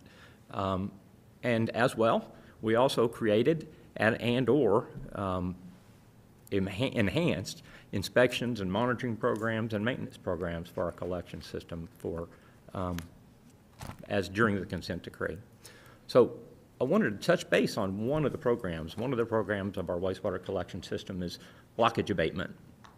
Um, That's where we use flow monitoring technology plus remote cameras to gather data. And um, you can see the photos on the right, that's of the inside of our wastewater lines. Uh, The top one, as you can see, is where rainwater has found its way through a pipe joint and do- thus does impact our wastewater system.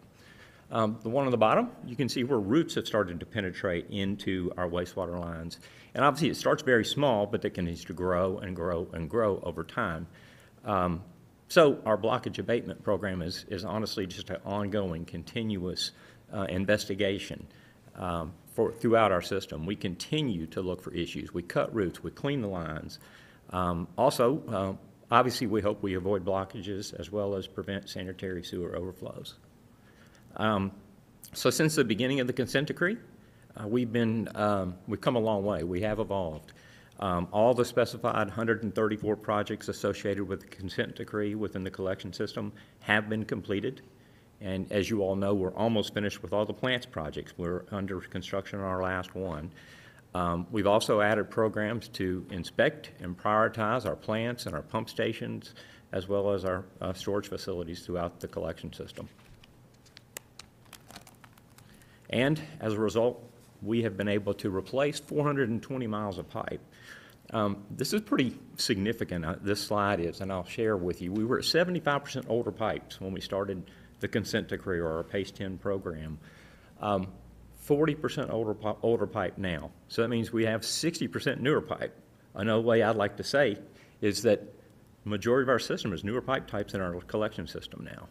Um, Honestly, back in 2004, I'm not sure if I could have remembered, uh, been able to say that or thought I could even say that in my tenure here at KUB. Uh, That's a pretty big deal. Um, I'll also add that over 80% of our pump stations, it's been upgraded since the beginning of the consent decree. Um, Also, we've installed six storage tanks in our, and that obviously helps us with the wet weather conditions and the peak flows in our wastewater collection system. So, um, the collective work associated with, uh, with our investments have resulted in a seventy percent reduction in manhole overflows in our system. Um, I want to add as well, that comes on the heels of two of the wettest years we've had in the history of Knoxville. 2019, it was the third wettest year. In fact, February of 2019 was the wettest February in Knoxville. Remind me, what year did we take over wastewater? 1987. So yeah, part of 19- that, the city owned it, so this, this, this is, this is really good news. Well past Yeah. that time period, and yes. Uh, I I honestly, uh, 70% reduction is pretty phenomenal. Again, the rainfalls that we've had, you all know what the rainfall has been the last two years, uh, the floods that were associated with all that. It, in fact, last year, it was a top 10 wettest year in the city of Knoxville. So, um, yet still 70% reduction in our manhole overflows. So, um, as you know, we had a pretty fast pace to make some improvements to begin with, uh, pretty significant and we were replacing pipe at 25 miles per year. That was the pace. That's a big deal. Um, but it obviously got us to a point where we are today, where we have majority of our system is newer pipe types. However, we do think there's a better sustainable pace for our pipe replacements going forward. Uh, Now that we're in a position where we do have majority of newer pipe types, we think somewhere about north of one and a half percent of the system being replaced on an annual basis is the right amount going forward. So you can see in our long-range plan, we've made appropriate adjustments. So, um, we're nearing the closeout of the consent decree. You're aware of the, the final project, the BEHRC project at Kuwahee. Um, It's a nearly $50 million project uh, to be complete this fiscal year. You're, you're also aware, given the pandemic as well as some contractor delays, we're working with the EPA, we're in discussions as we speak uh, about potentially modifying the deadline for that particular project, and that's going on as we speak. Um, We're also incorporating the projects that we've created and the programs under the consent decree, and we're adding it into our Century Two O and M manual so that we can continue that progress that we have made.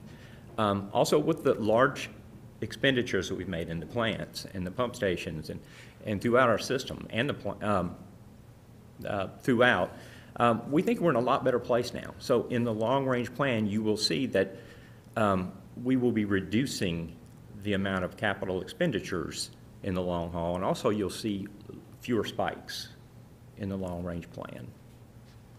But regardless, as you know, our commitment to Century Two absolutely remains, and we'll continue to focus on our Century Two programs. And in case we get asked, uh, Commissioners, the, the project on, on Neyland is really only a few, a few months, uh, gonna be a few months late. It's not, it's not years and years. That is correct. Yes, we, we do expect to finish it this fiscal year.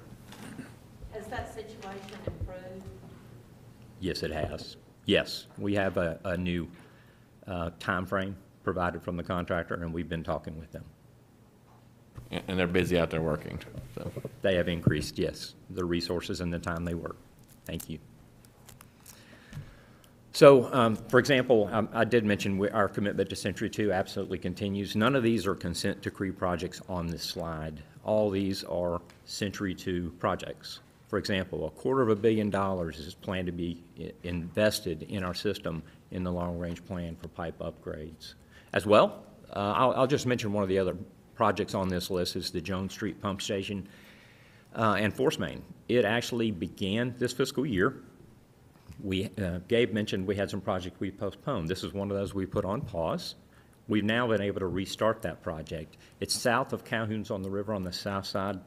Uh, It replaces a current pump station uh, that serves a good portion of South Knoxville, pumps the water basically north and eventually is treated at Kuwahee. Um, If you look at the architectural rendering, you can see the city-county building in the background. That's so you can kind of get a feel for where it's located. Uh, This project actually looks relatively small if you look at the architectural rendering.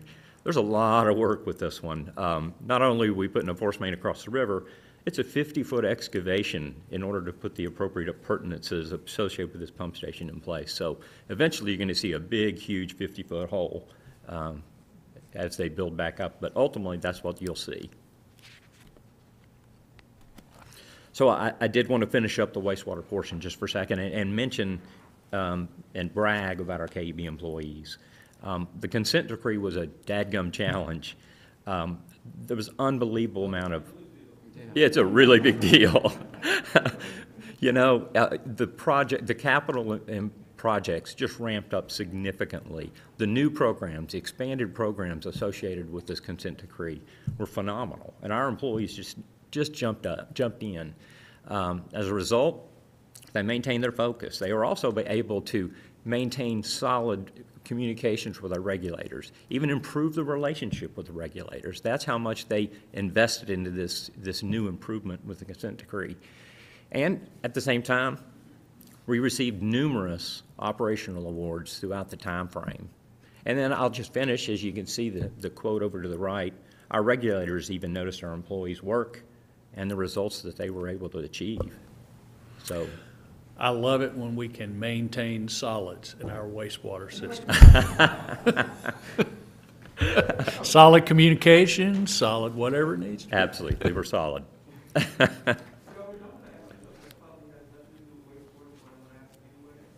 does this, how, how does, because we don't control stormwater, right, that is city or and or county.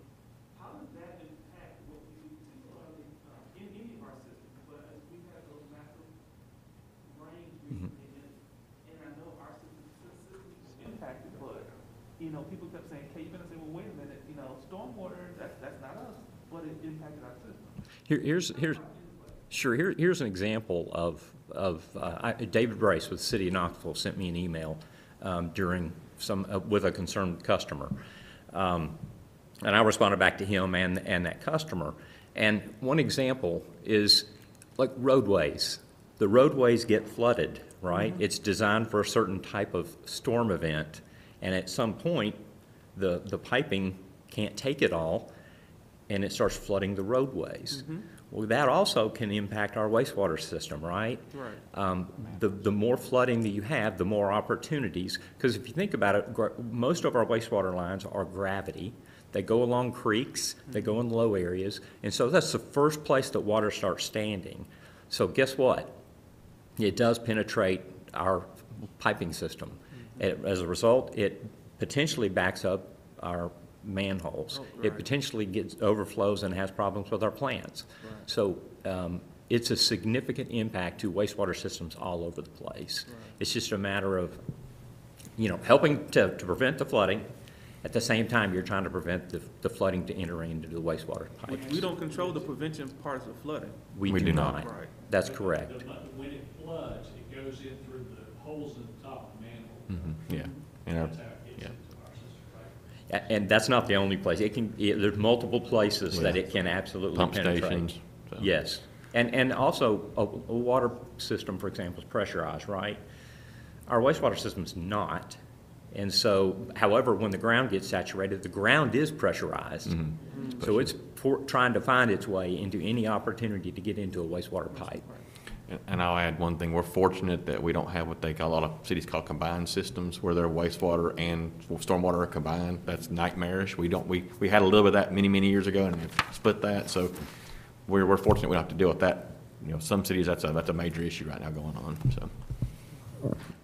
Yeah, that, early on, that was one of our first projects was to eliminate all our combined sewer, um, where water, where the stormwater and the sewer were together. Sequoia Hills was one of the areas where a lot of that occurred. So that was one of the first things we did under the consent decree was to eliminate that. Sequoia Hills, okay, you can recombine them if you want to.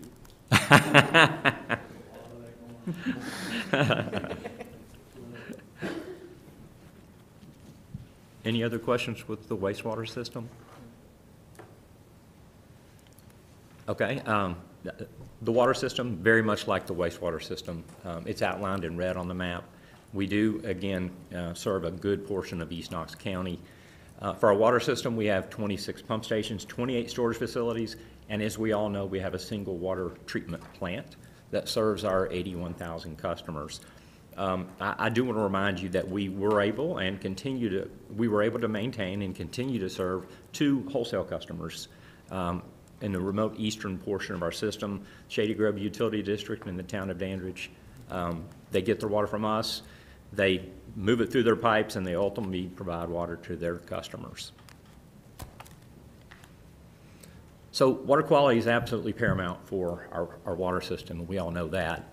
Um, We also have a focus on resiliency. The board has endorsed a water supply master plan, which is basically a series of projects to provide a second treatment train for our water treatment facility. And so we're well underway on that project, and we'll touch on that a little bit later.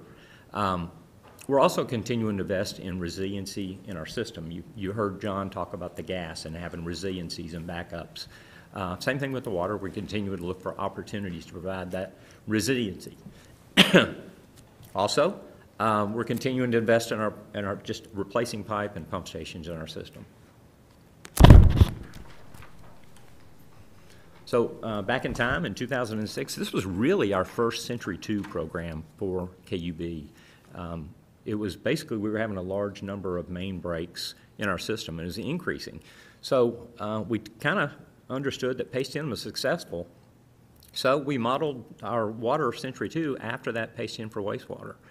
Um, And, and in fact, we used the data that was available to us at the time, and as you can see, the red was galvanized pipe. It was obvious outlier, um, and so we actually uh, really attacked primarily galvanized pipe first. So we focused on the pipes in the system primarily early on in our Century 2 program. But we have since evolved to a blank slide. I don't know how that happened. Yeah, whoa. Um, We've evolved, um, Century 2 program. Our water supply master plan, I did mention, is new, um, and it is well underway. We've created programs to collect data for our tanks and pump stations. Um, We've expanded to valve inspections and maintenance throughout our system. Um, And we've also been able to, to improve effectiveness and efficiencies, as well as to reduce costs, to move some of the work that was done by contractors to be performed by KUB crews. Um, So, um, in the, we also, I wanted to share with you two leak types on this slide. The top one is an obvious leak. We all can see that one. We wish they were all that obvious. Unfortunately, they're not. Um, The one on the bottom could actually be much worse, and it could last for many, many years. Um, So we use programs to help us analyze and invest, investigate and pinpoint and locate um, these type of leaks. In fact, we're the first utility in the United States to actually use a particular um, software program as well as data analytics to help us find and pinpoint those kind of leaks. It- That's a water valve. Um, So that, that's just a, you take it off and you can spin and turn, close, open and close a valve. The, we, you can't detect it here. It's below the surface. And that's why we have to use the newer technology and the software and the flow monitoring that we have in place to help us kind of look and isolate and find. It's a, it's a science. You can, I'm sorry? That's a concrete in the street. That's asphalt. That's just a, a, an intersection per se. That's, that's in the street, and we've got a, a valve that's, that's actually a valve cover. You take off the valve cover, there's a valve stem bound in it, and you actually manually turn the valve. So, um, does that make sense? Um, I, I did mention that we were the first in the United States to actually use a find and fix program. Um, so be- we piloted actually the last two years. And as a result of the success, we found quite a bit of what I'm calling home runs um, that we normally would not have even found. So as a result, uh, we're going to invest a million dollars a year in a long-range plan for our find and fix program. So over the past 15 years, uh, we've been able to upgrade 200 miles of pipe. We're now at 64% newer pipe types. Um, And our galvanize is nearly out of our system. As I mentioned, that was where we attacked first um, strategically, and we're continuing to, to attack it as well. Uh, Pipe repairs down by 57% since 2008. And there's an obvious correlation. If you look at the red, that is galvanized. So obviously, as we've reduced the galvanized in the system, we have been able to reduce the main breaks in the system as well.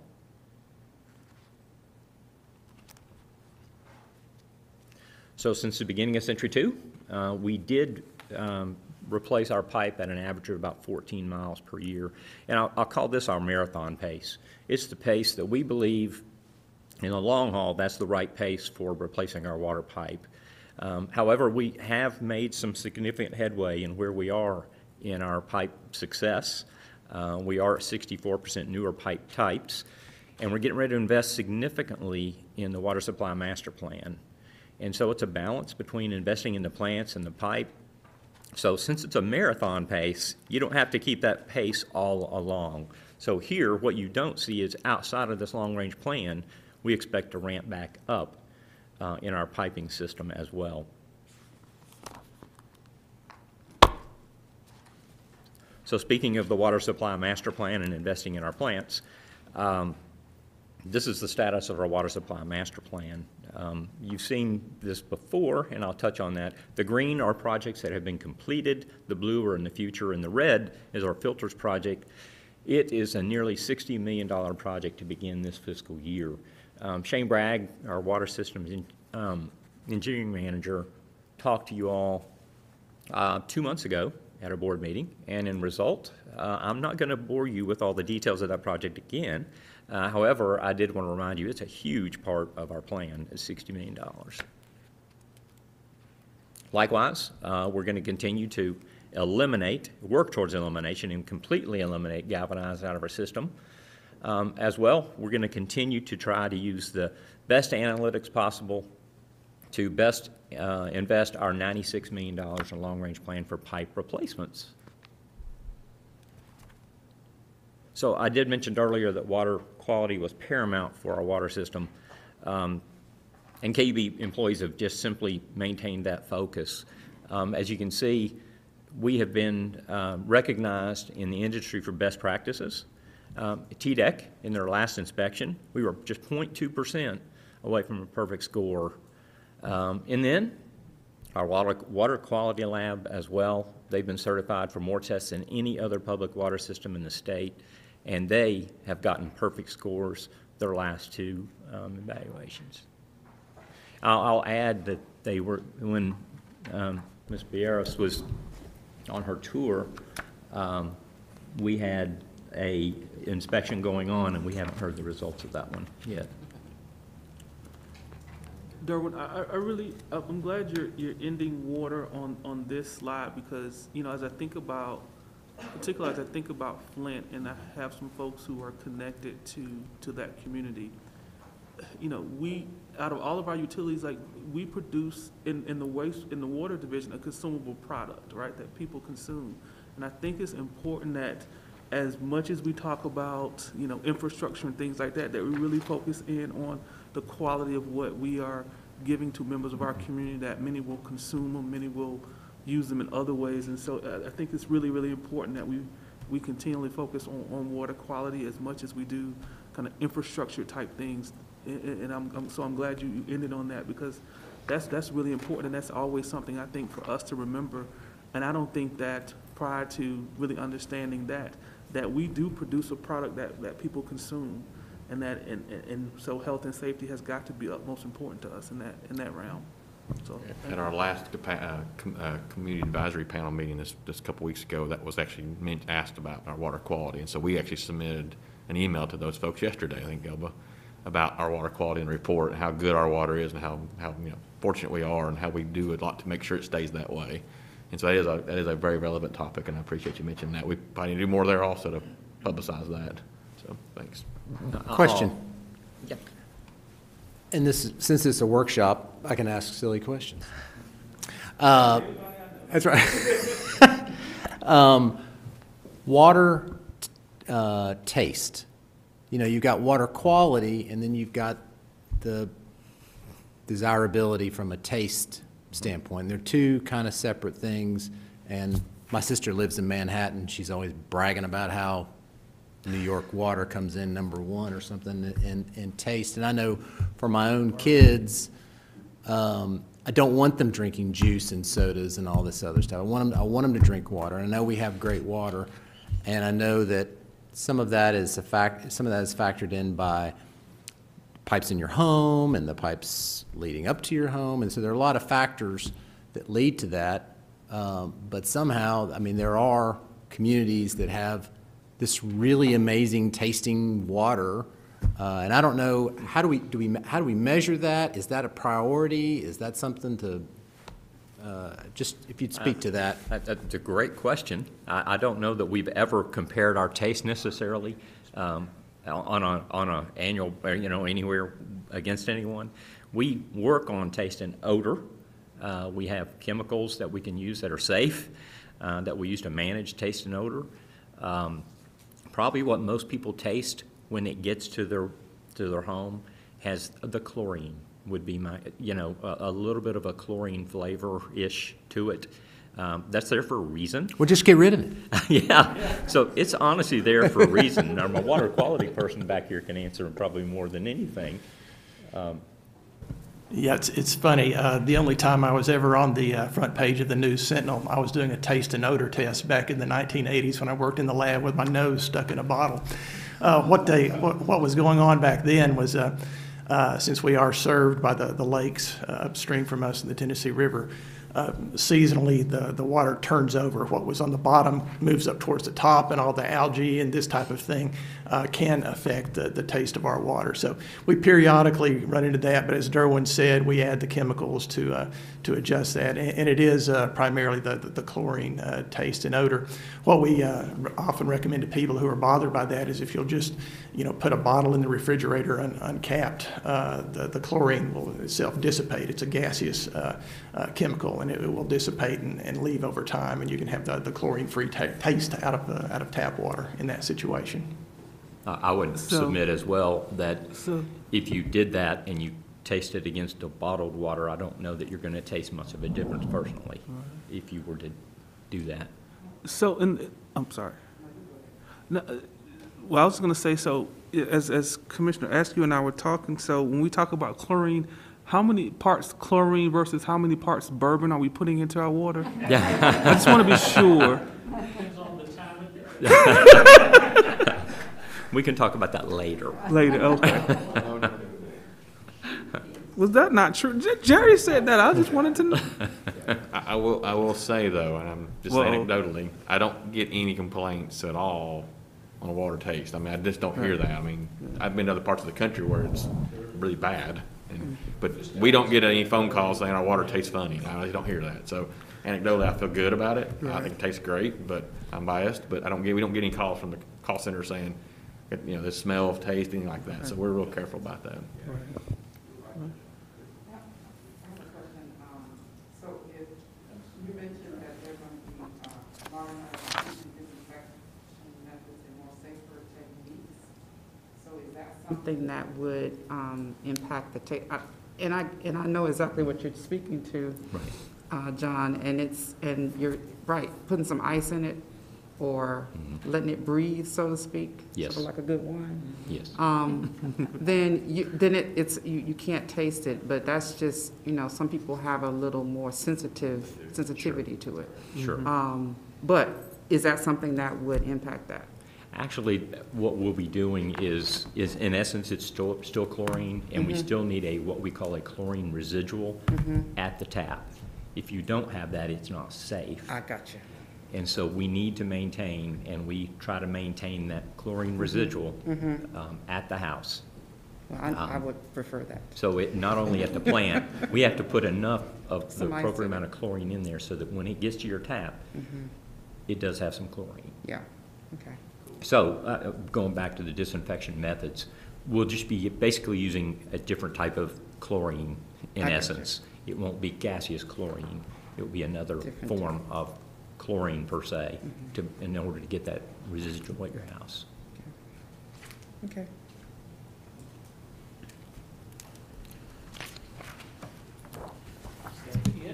the end. Thank you. So, Mark? Yes, sir. I'm going to close out today's presentation with the fun part. Um, we'll give uh, a brief update on our long-range financial return. On our long-range financial plans for each system. I will give an overview of the proposed budget for next fiscal year for FY '22. We'll also talk about the funding of the budget, and as you know, part of the funding of the budget is the proposed 2% water rate increase, so we'll talk about that in a little bit more detail.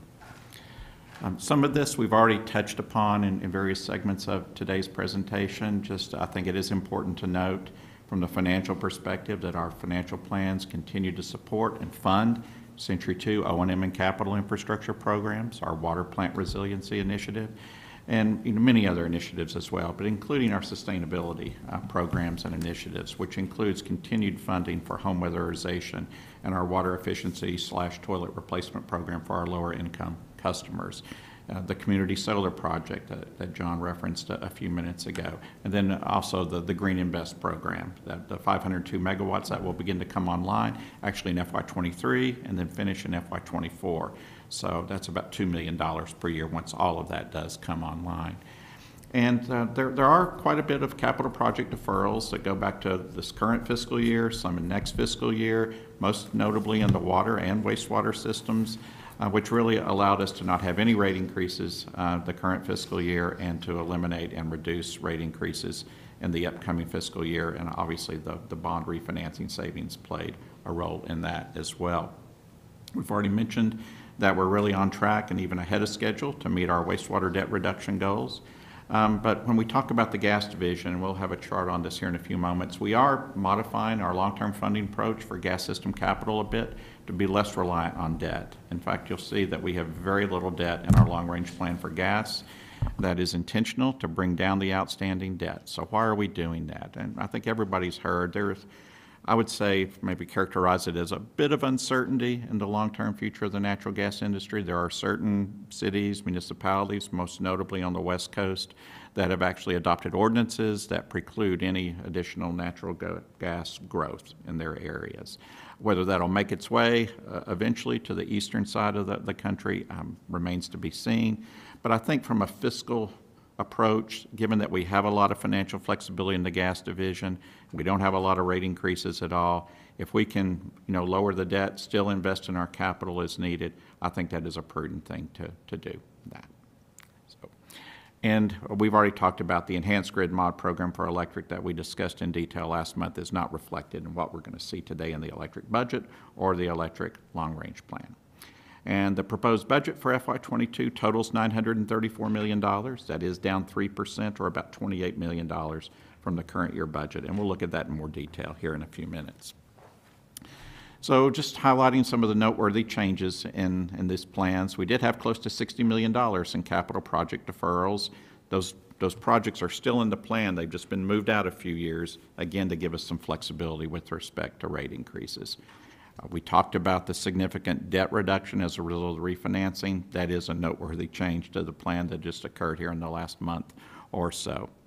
Um, As far as some cost additions, revenue subtractions, I did want to mention a a few of those. Uh, We are investing more in vegetation management. John touched upon that, um, about $3 million per year, on- sort of on average.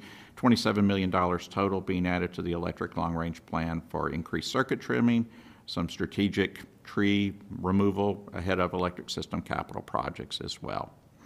Um, On interest income, it is down about 16 million from last year's plan.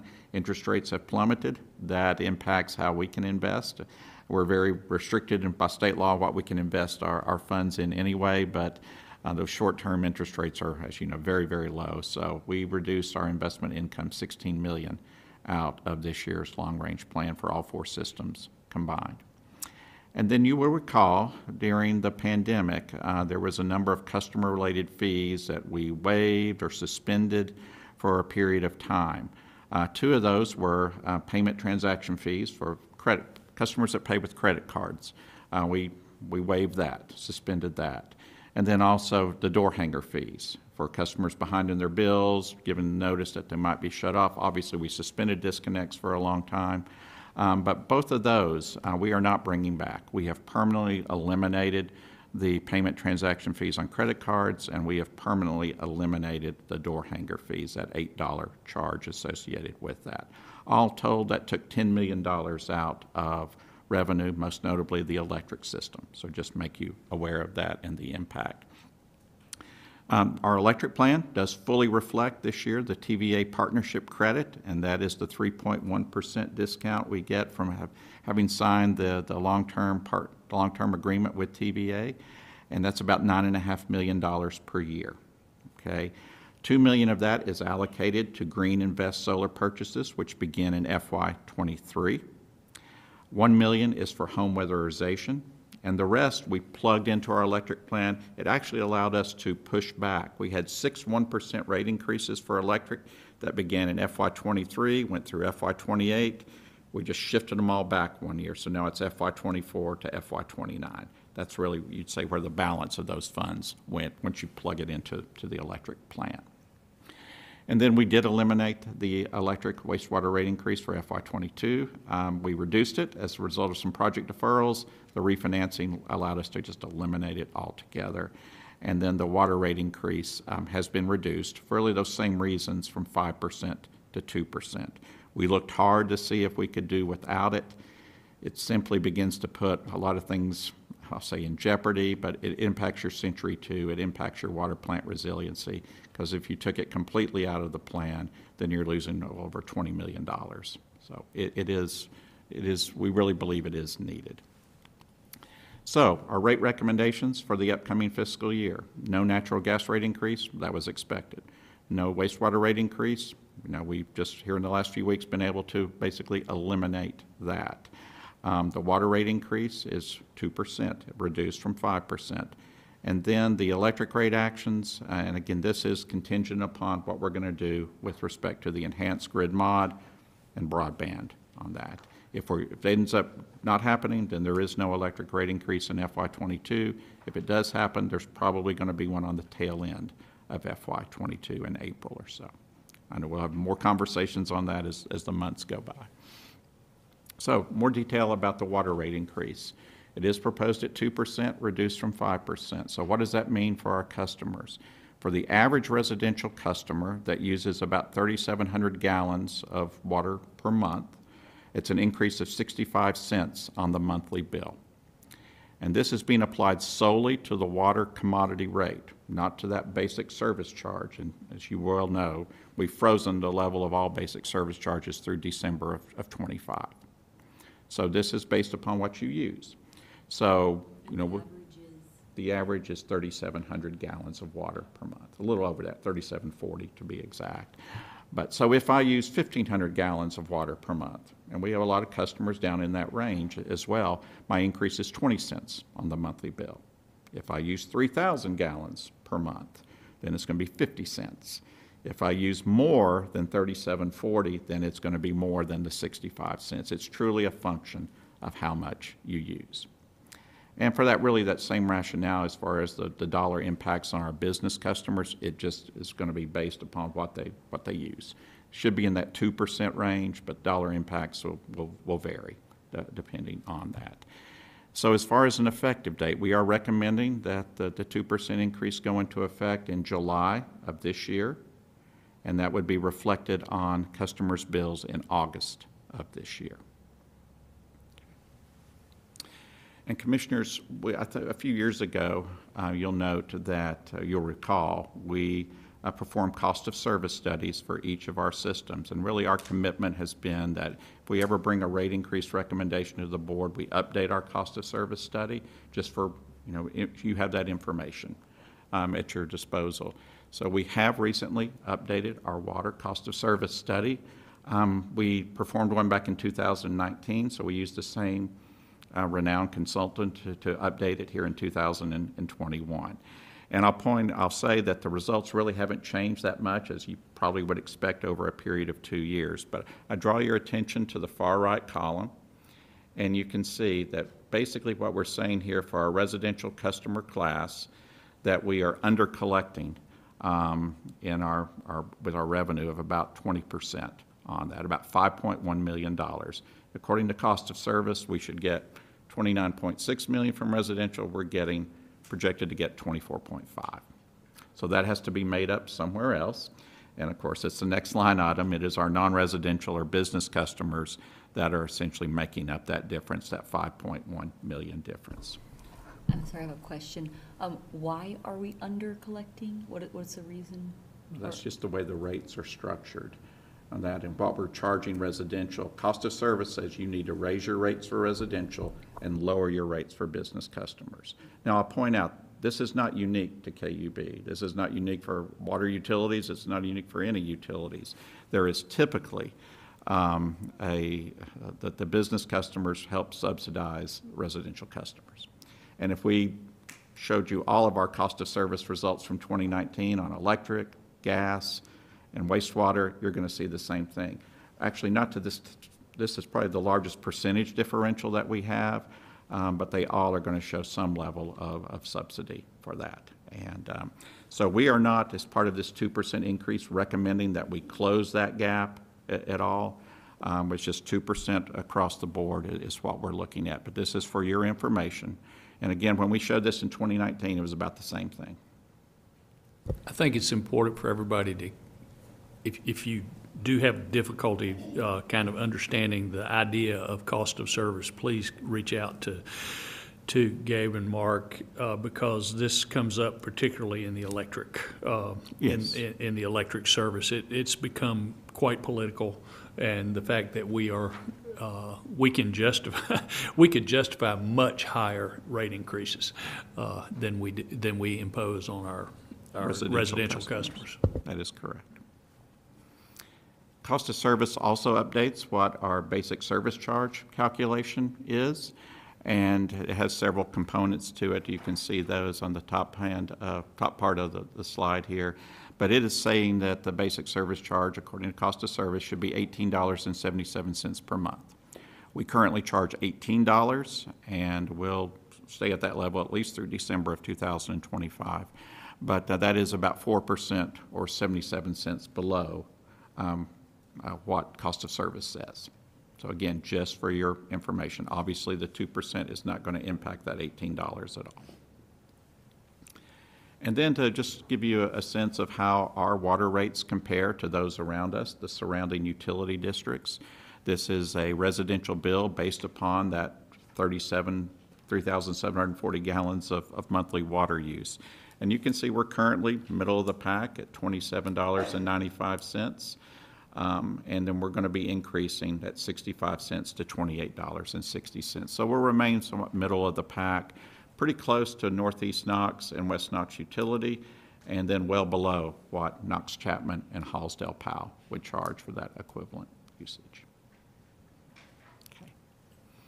Okay, so now we're going to transition and look at the system long-range financial plans. And these next four charts, I know Celeste will really appreciate, um, but they, because they do have a, a host of numbers in them. Um, and I'll try and be relatively, just hit the high points of this, but this is straight out of our plans. Uh, well, we'll begin with, with water. Um, The far left column outside of the year is the capital, and so we have about $363 million in total capital for the water system over the next 10 years. So that's an average of about 36 million per year. We're a little bit low on that, below average in the upcoming fiscal year budget, and that is because some of those project deferrals that we have done to help with the, the rate increases. No bonds are expected to be needed in FY '22, but for the 10 years in total, um, that adds up to $119 million in new water debt. The actual net increase in the outstanding bonds, there is a net increase in outstanding bonds for water. There's a number you don't see on here that I think is like $199 million. There's going to be a net increase of 24 million. So we're going to issue 119 million new debt over the next 10 years. We'll pay off 95 million.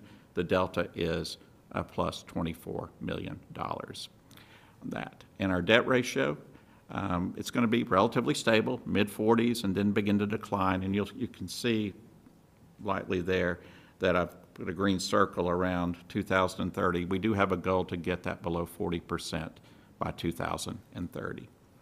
The debt coverages are going to steadily improve. That's good because our target is two times on maximum debt service. You see the rate increase of 2%, And then after that, you see nothing but every year it's 6% increase.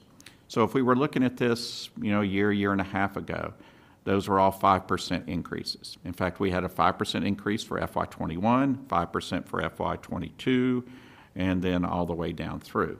We didn't have any increase in FY '21. We're reducing to 2% in FY '22, but that has an effect of raising those outer increases a little bit. So they have all moved to 6%. Uh, So just to make you aware of that. And again, this is all part of the balanced funding plan. It has Century Two, water plant resiliency to be funded in that as well. So just so you're aware of where we may be going in the future with respect to rates. And, and the argument I make, Todd, is it keeps us from being flat. It costs money to not be flat. So on wastewater, um, 10-year capital program's about $390 million, 39 million per year. It's a little bit higher in 2022. Jones Street Pump Station, we have $9 in the budget, $9 million. I wish we had $9. Um, $9 million in the, in the budget for that, and then you have some of the final payments on the BHRC as well. So it's a little bit higher than the average next year. On the bonds, we are uh, proposing a $12 million bond issue to help fund that capital budget in FY '22. Total debt to be issued over the 10 years is uh, 113 million, and we're actually going to have a big net decrease. Um, Again, I think, uh, not to keep harping on this, but that number would be like 520-something million um, if we had- didn't have the refinancing. So we've already dropped it down, and we're going to drop it down. We'll end the plan at $427 million. So you see this first green circle here, that around the 425 million. Our goal was for that to be below 450 by 2030. You can now see we're achieving that by 2025. So well ahead of schedule on that. Um, This was the goal we set back in 2017, to have this below 50% by 10 years out in '27. We're on track to achieve that, in fact, a year in advance on that. Debt coverages are strong. They trend down a little bit in the outer years because the rate increases get smaller. So no rate increase this year, but we're looking out for the next three years for that to be around 4% per year. Okay. Gas. A a lower level capital program, 260 million over 10 years, that's about 26 million per year. It's a little bit above average in FY '22. The next column is really the one to draw your attention to. There's virtually no debt in the plan. There's a single $8 million bond issue in FY '23, and that is it. Um, As a result, the outstanding level of gas debt is going to plummet. It'll be 34 million by the end of the plan. And you can see the debt coverages, they really begin to skyrocket, which is a good thing uh, in, in, in this world. Um, And that the higher your debt service coverage, the better it is. And so it gets up over six, which is a number I never thought I'd ever see in my lifetime or career. Um, Rate increases, no rate increase in FY '22 or for the next three fiscal years. In order to remove some of the debt that was here, we bumped those up from 1% per year to 2%. Of course, that's several years out. We'll have many more discussions about this before we come to any decision point on that. And then finally, electric, again, just to, to, to let you know, there's obviously none of that enhanced grid mod, 700 million in this. The $714 million total capital plan, 73 million in the upcoming budget year. We are proposing a $16 million bond issue for the electric division for next fiscal year, though that official action on that will not occur next month. We're going to defer that until the fall, until that whole process, decision-making on broadband plays out. Because if we do go forward with broadband and the enhanced grid mod program, that's going to be like an $80 million bond issue. So more to come on that. A level of debt relatively stable, increases a bit. It ends at $288 million. Debt ratio does decline, be around 30% by the end of the plan. Solid debt coverages. And here are the rate increases, none this year, none next year. In last year's plan, this was 1%, and it ended here. We just shifted it all down or out one year. And that's a lot of numbers, but um, I know that you all like that stuff. Um, Quick, quick question, Mark. Yes. Uh, On the long-range plan, I keep getting reports that, um, you know, be prepared for uh, inflation uh, projections to. Yes. To change. How do we, uh, you know, obviously, if you've got a gonna- got a capital cost in 2026 of $40 million. Uh, That, that could be, who knows Yeah. what. Uh, Well, Do we we do- have, I guess my uh, underlying question is, do we have an inflation, uh, We do. do we, do we match, we match up inflation with kind of, We have inflation Our project projection, costs? we have inflation projections for every year in the plan. Um, You know, two and a half, three percent, I think it's about two point six percent in, in total. so if on it goes that. to four, we'll If it just have goes to plan four, we have to accordingly? adjust. Yeah, Yep. thank you. Okay, last segment of the presentation, the proposed budget. I'll try and go through this fairly quickly. Again, it's $934 million total. As you know, each system has its own budget appropriation, so you can see what those various amounts are. Electric 596, gas 131, water 79, wastewater 128. By major cost component, you know, energy is usually what we purchase from TVA, what we purchase from gas suppliers. That is, you know, almost 50% of the total proposed budget. O and M is going to be 167 million, capital 178 million. The debt service, principal and interest payments on outstanding bonds, 84 million, and in lieu of tax payments and federal payroll taxes combined, 42 million, for a total of 934. How does that compare to our current fiscal year budget? It is down about 28.5 million dollars, that's 3%. Uh, The major variance is really on the capital line item. As you can see, it's down almost $34 million. Part of that is those project deferrals we've talked about. Also, the BHRC project at Kuwahee, a lot of dollars spent on that in FY '21, not so much in FY '22. O and M is up $9 million. Um, That is labor-related, it's about two-thirds of that. There is a modest uh, wage growth of about 2.5% uh, built into the plan, and then we do have some additional staffing positions, a little bit higher contributions for our pension and OPEB trust funds as required by our actuary on that. So debt service is down, that's your refunding savings, that's a small portion of that for FY '22. Key programs and projects, we've already really talked about all of this. Uh, These are just some of the, the, the big dollar projects that are reflected in the FY '22 budget. So the vegetation management, about $13 million total. Water filter project, Jones Street Pump Station, those are all multi-year projects, so you see those amounts. I do want to mention quickly the sustainability initiatives. We have $4.7 million in the FY '22 budget. So what is that? A million dollars for home weatherization, roughly a million dollars for our water efficiency toilet replacement program, because we didn't spend that much this year. So we're still going to use the funds, we just roll it in to the FY '22 budget. And one thing on that, I know as we started out, just quickly for your information, that's, okay, that's a toilet replacement program, and it can maybe do some other things as well. We are now looking to expand the scope of that. A lot of homes that we've gone into, even those we've, we've been able to go into in the pandemic, the, they often have new toilets. So it's like, well, okay. Um, but we're looking to expand that. We may need to replace the water line in the yard. There may be other things that we can do to make that home more efficient with respect to water and obviously sewer, what's going into the sewer as well. So we're looking to expand the scope of that. And then, of course, community solar project is one and a half million in FY twenty-two as well. Funding of the budget, nine hundred and thirty-four million total. The pie chart on the left, you've really already seen, it's just a different form, all the cost components. How will the budget be funded? As typical, usually about over ninety percent of it is from utility system revenues, so that's eight hundred and sixty-five million. Twenty-eight million dollars in new bonds, sixteen million electric, twelve million wastewater. And then we have about forty million dollars in general fund cash on hand that we'll use to, to help fund the budget as well which takes us, last slide, um, to looking forward to next month. And we will have several resolutions, official action items related to, to the budget and funding of the budget. Obviously, the budget appropriations itself for all four systems. Commitment appropriations, um, and that is where we need an appropriation from the board to be that if we enter into contracts or other agreements that commit KUB to expenditures beyond FY '22. That's what that's all about. And then the $12 million wastewater bond issue, uh, we are deferring action again on the 16 million electric bond issue until later in the year. And then uh, the 2% water rate increase. So that's first reading. As you know, there's two readings on rate increases.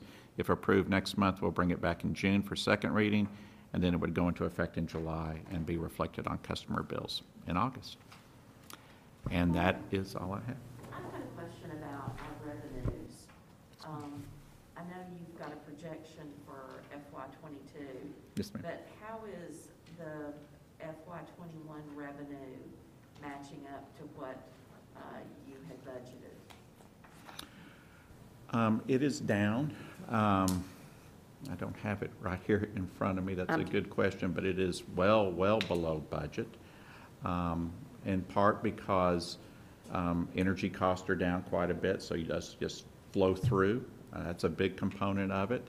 Um, But also because of the pandemic. And um, from a, you know, a cash revenue perspective, there's, since we you know, suspended disconnections and all of that, and I think the total pandemic impact on revenue is just right around $20 million for FY '21. Um, We're going to get some of that back within FY '21 on, a lot of it's, 13 million of that we've designated as timing, okay? Um, And that eventually will, we're projecting to come back to us, either by the end of this fiscal year or into next fiscal year. So really, the net loss on that's about $7 million on that. And one thing that's been a big help, we've talked about this before, is all the utility bill assistance that is out there. Uh, We designated all that pandemic relief credit from TVA, 7.3 million, and that goes for, really goes for all systems. Um, All that's going to come back to us.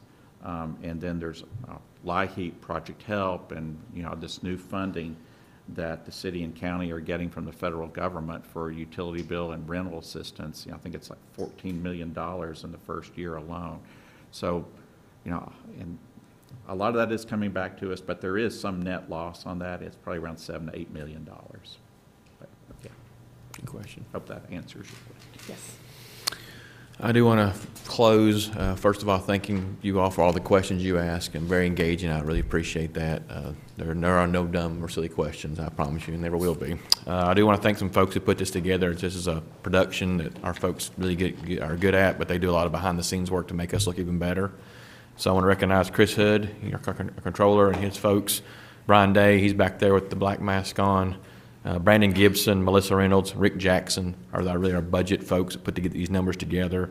On the communications side, Darren Rhines, yeah, Darren's in the back there. Um, Jay Miller's right behind me on the camera. Uh, Court- Courtney Rourke, uh, Stephanie Midget, Kelly Hamblin, Chris Tyler in the print shop do a great job. What you, a person you don't see who sets up all this technology is Jeff Lowe. He hides in the room behind me, but is all this interactive cameras and microphones. He does a phenomenal job keeping us uh, streaming live and, and, and very active. And then finally, but not last but not least, Debbie Hullett, who he keeps us all straight downtown, runs the show uh, for us down there, and, and really puts us all together and makes it seem very seamless. So thank you to those folks for your efforts.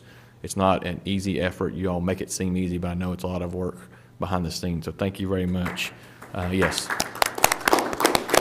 And that concludes my comments. Uh, anything else? Uh, turn it back over to the chair. All right. Any other comments from anyone? I have one.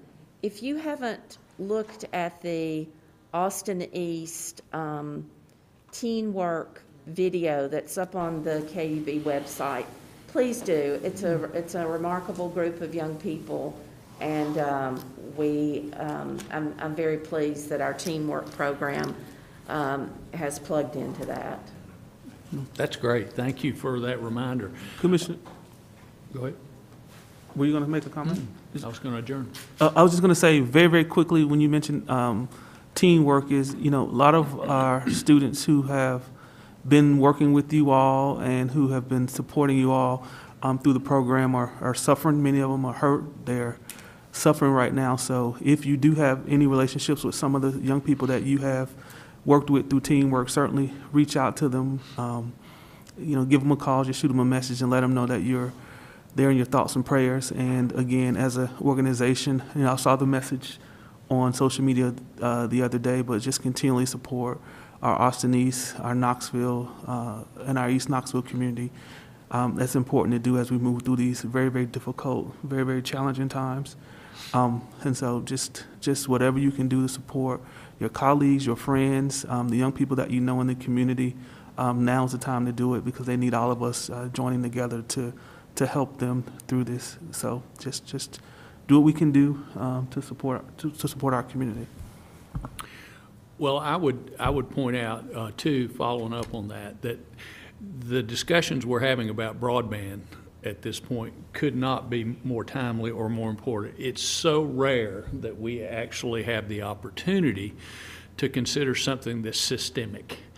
Uh, we spend so much time, all of us who have big hearts and, and, and big compassion, uh, we spend time trying to help fix a problem, but we end up doing it one person at a time, one meal at a time, one weatherization at a time. And uh, the, the opportunity, we haven't decided whether we're going to do it or not, but the opportunity to, to really be able to look deeply into a systemic issue that will have a direct positive impact if we can afford it, and if it seems the wise thing to do, have a direct impact on a whole system of people who have been neglected. Uh, And I- I think that's a, that's a great gift for us to have that opportunity to consider it, and it- the timing couldn't be better. So, thank you for that, Tyvi. Um, Following adjournment of this meeting, the board will have a lunch session that is open for the public to observe. This meeting is adjourned.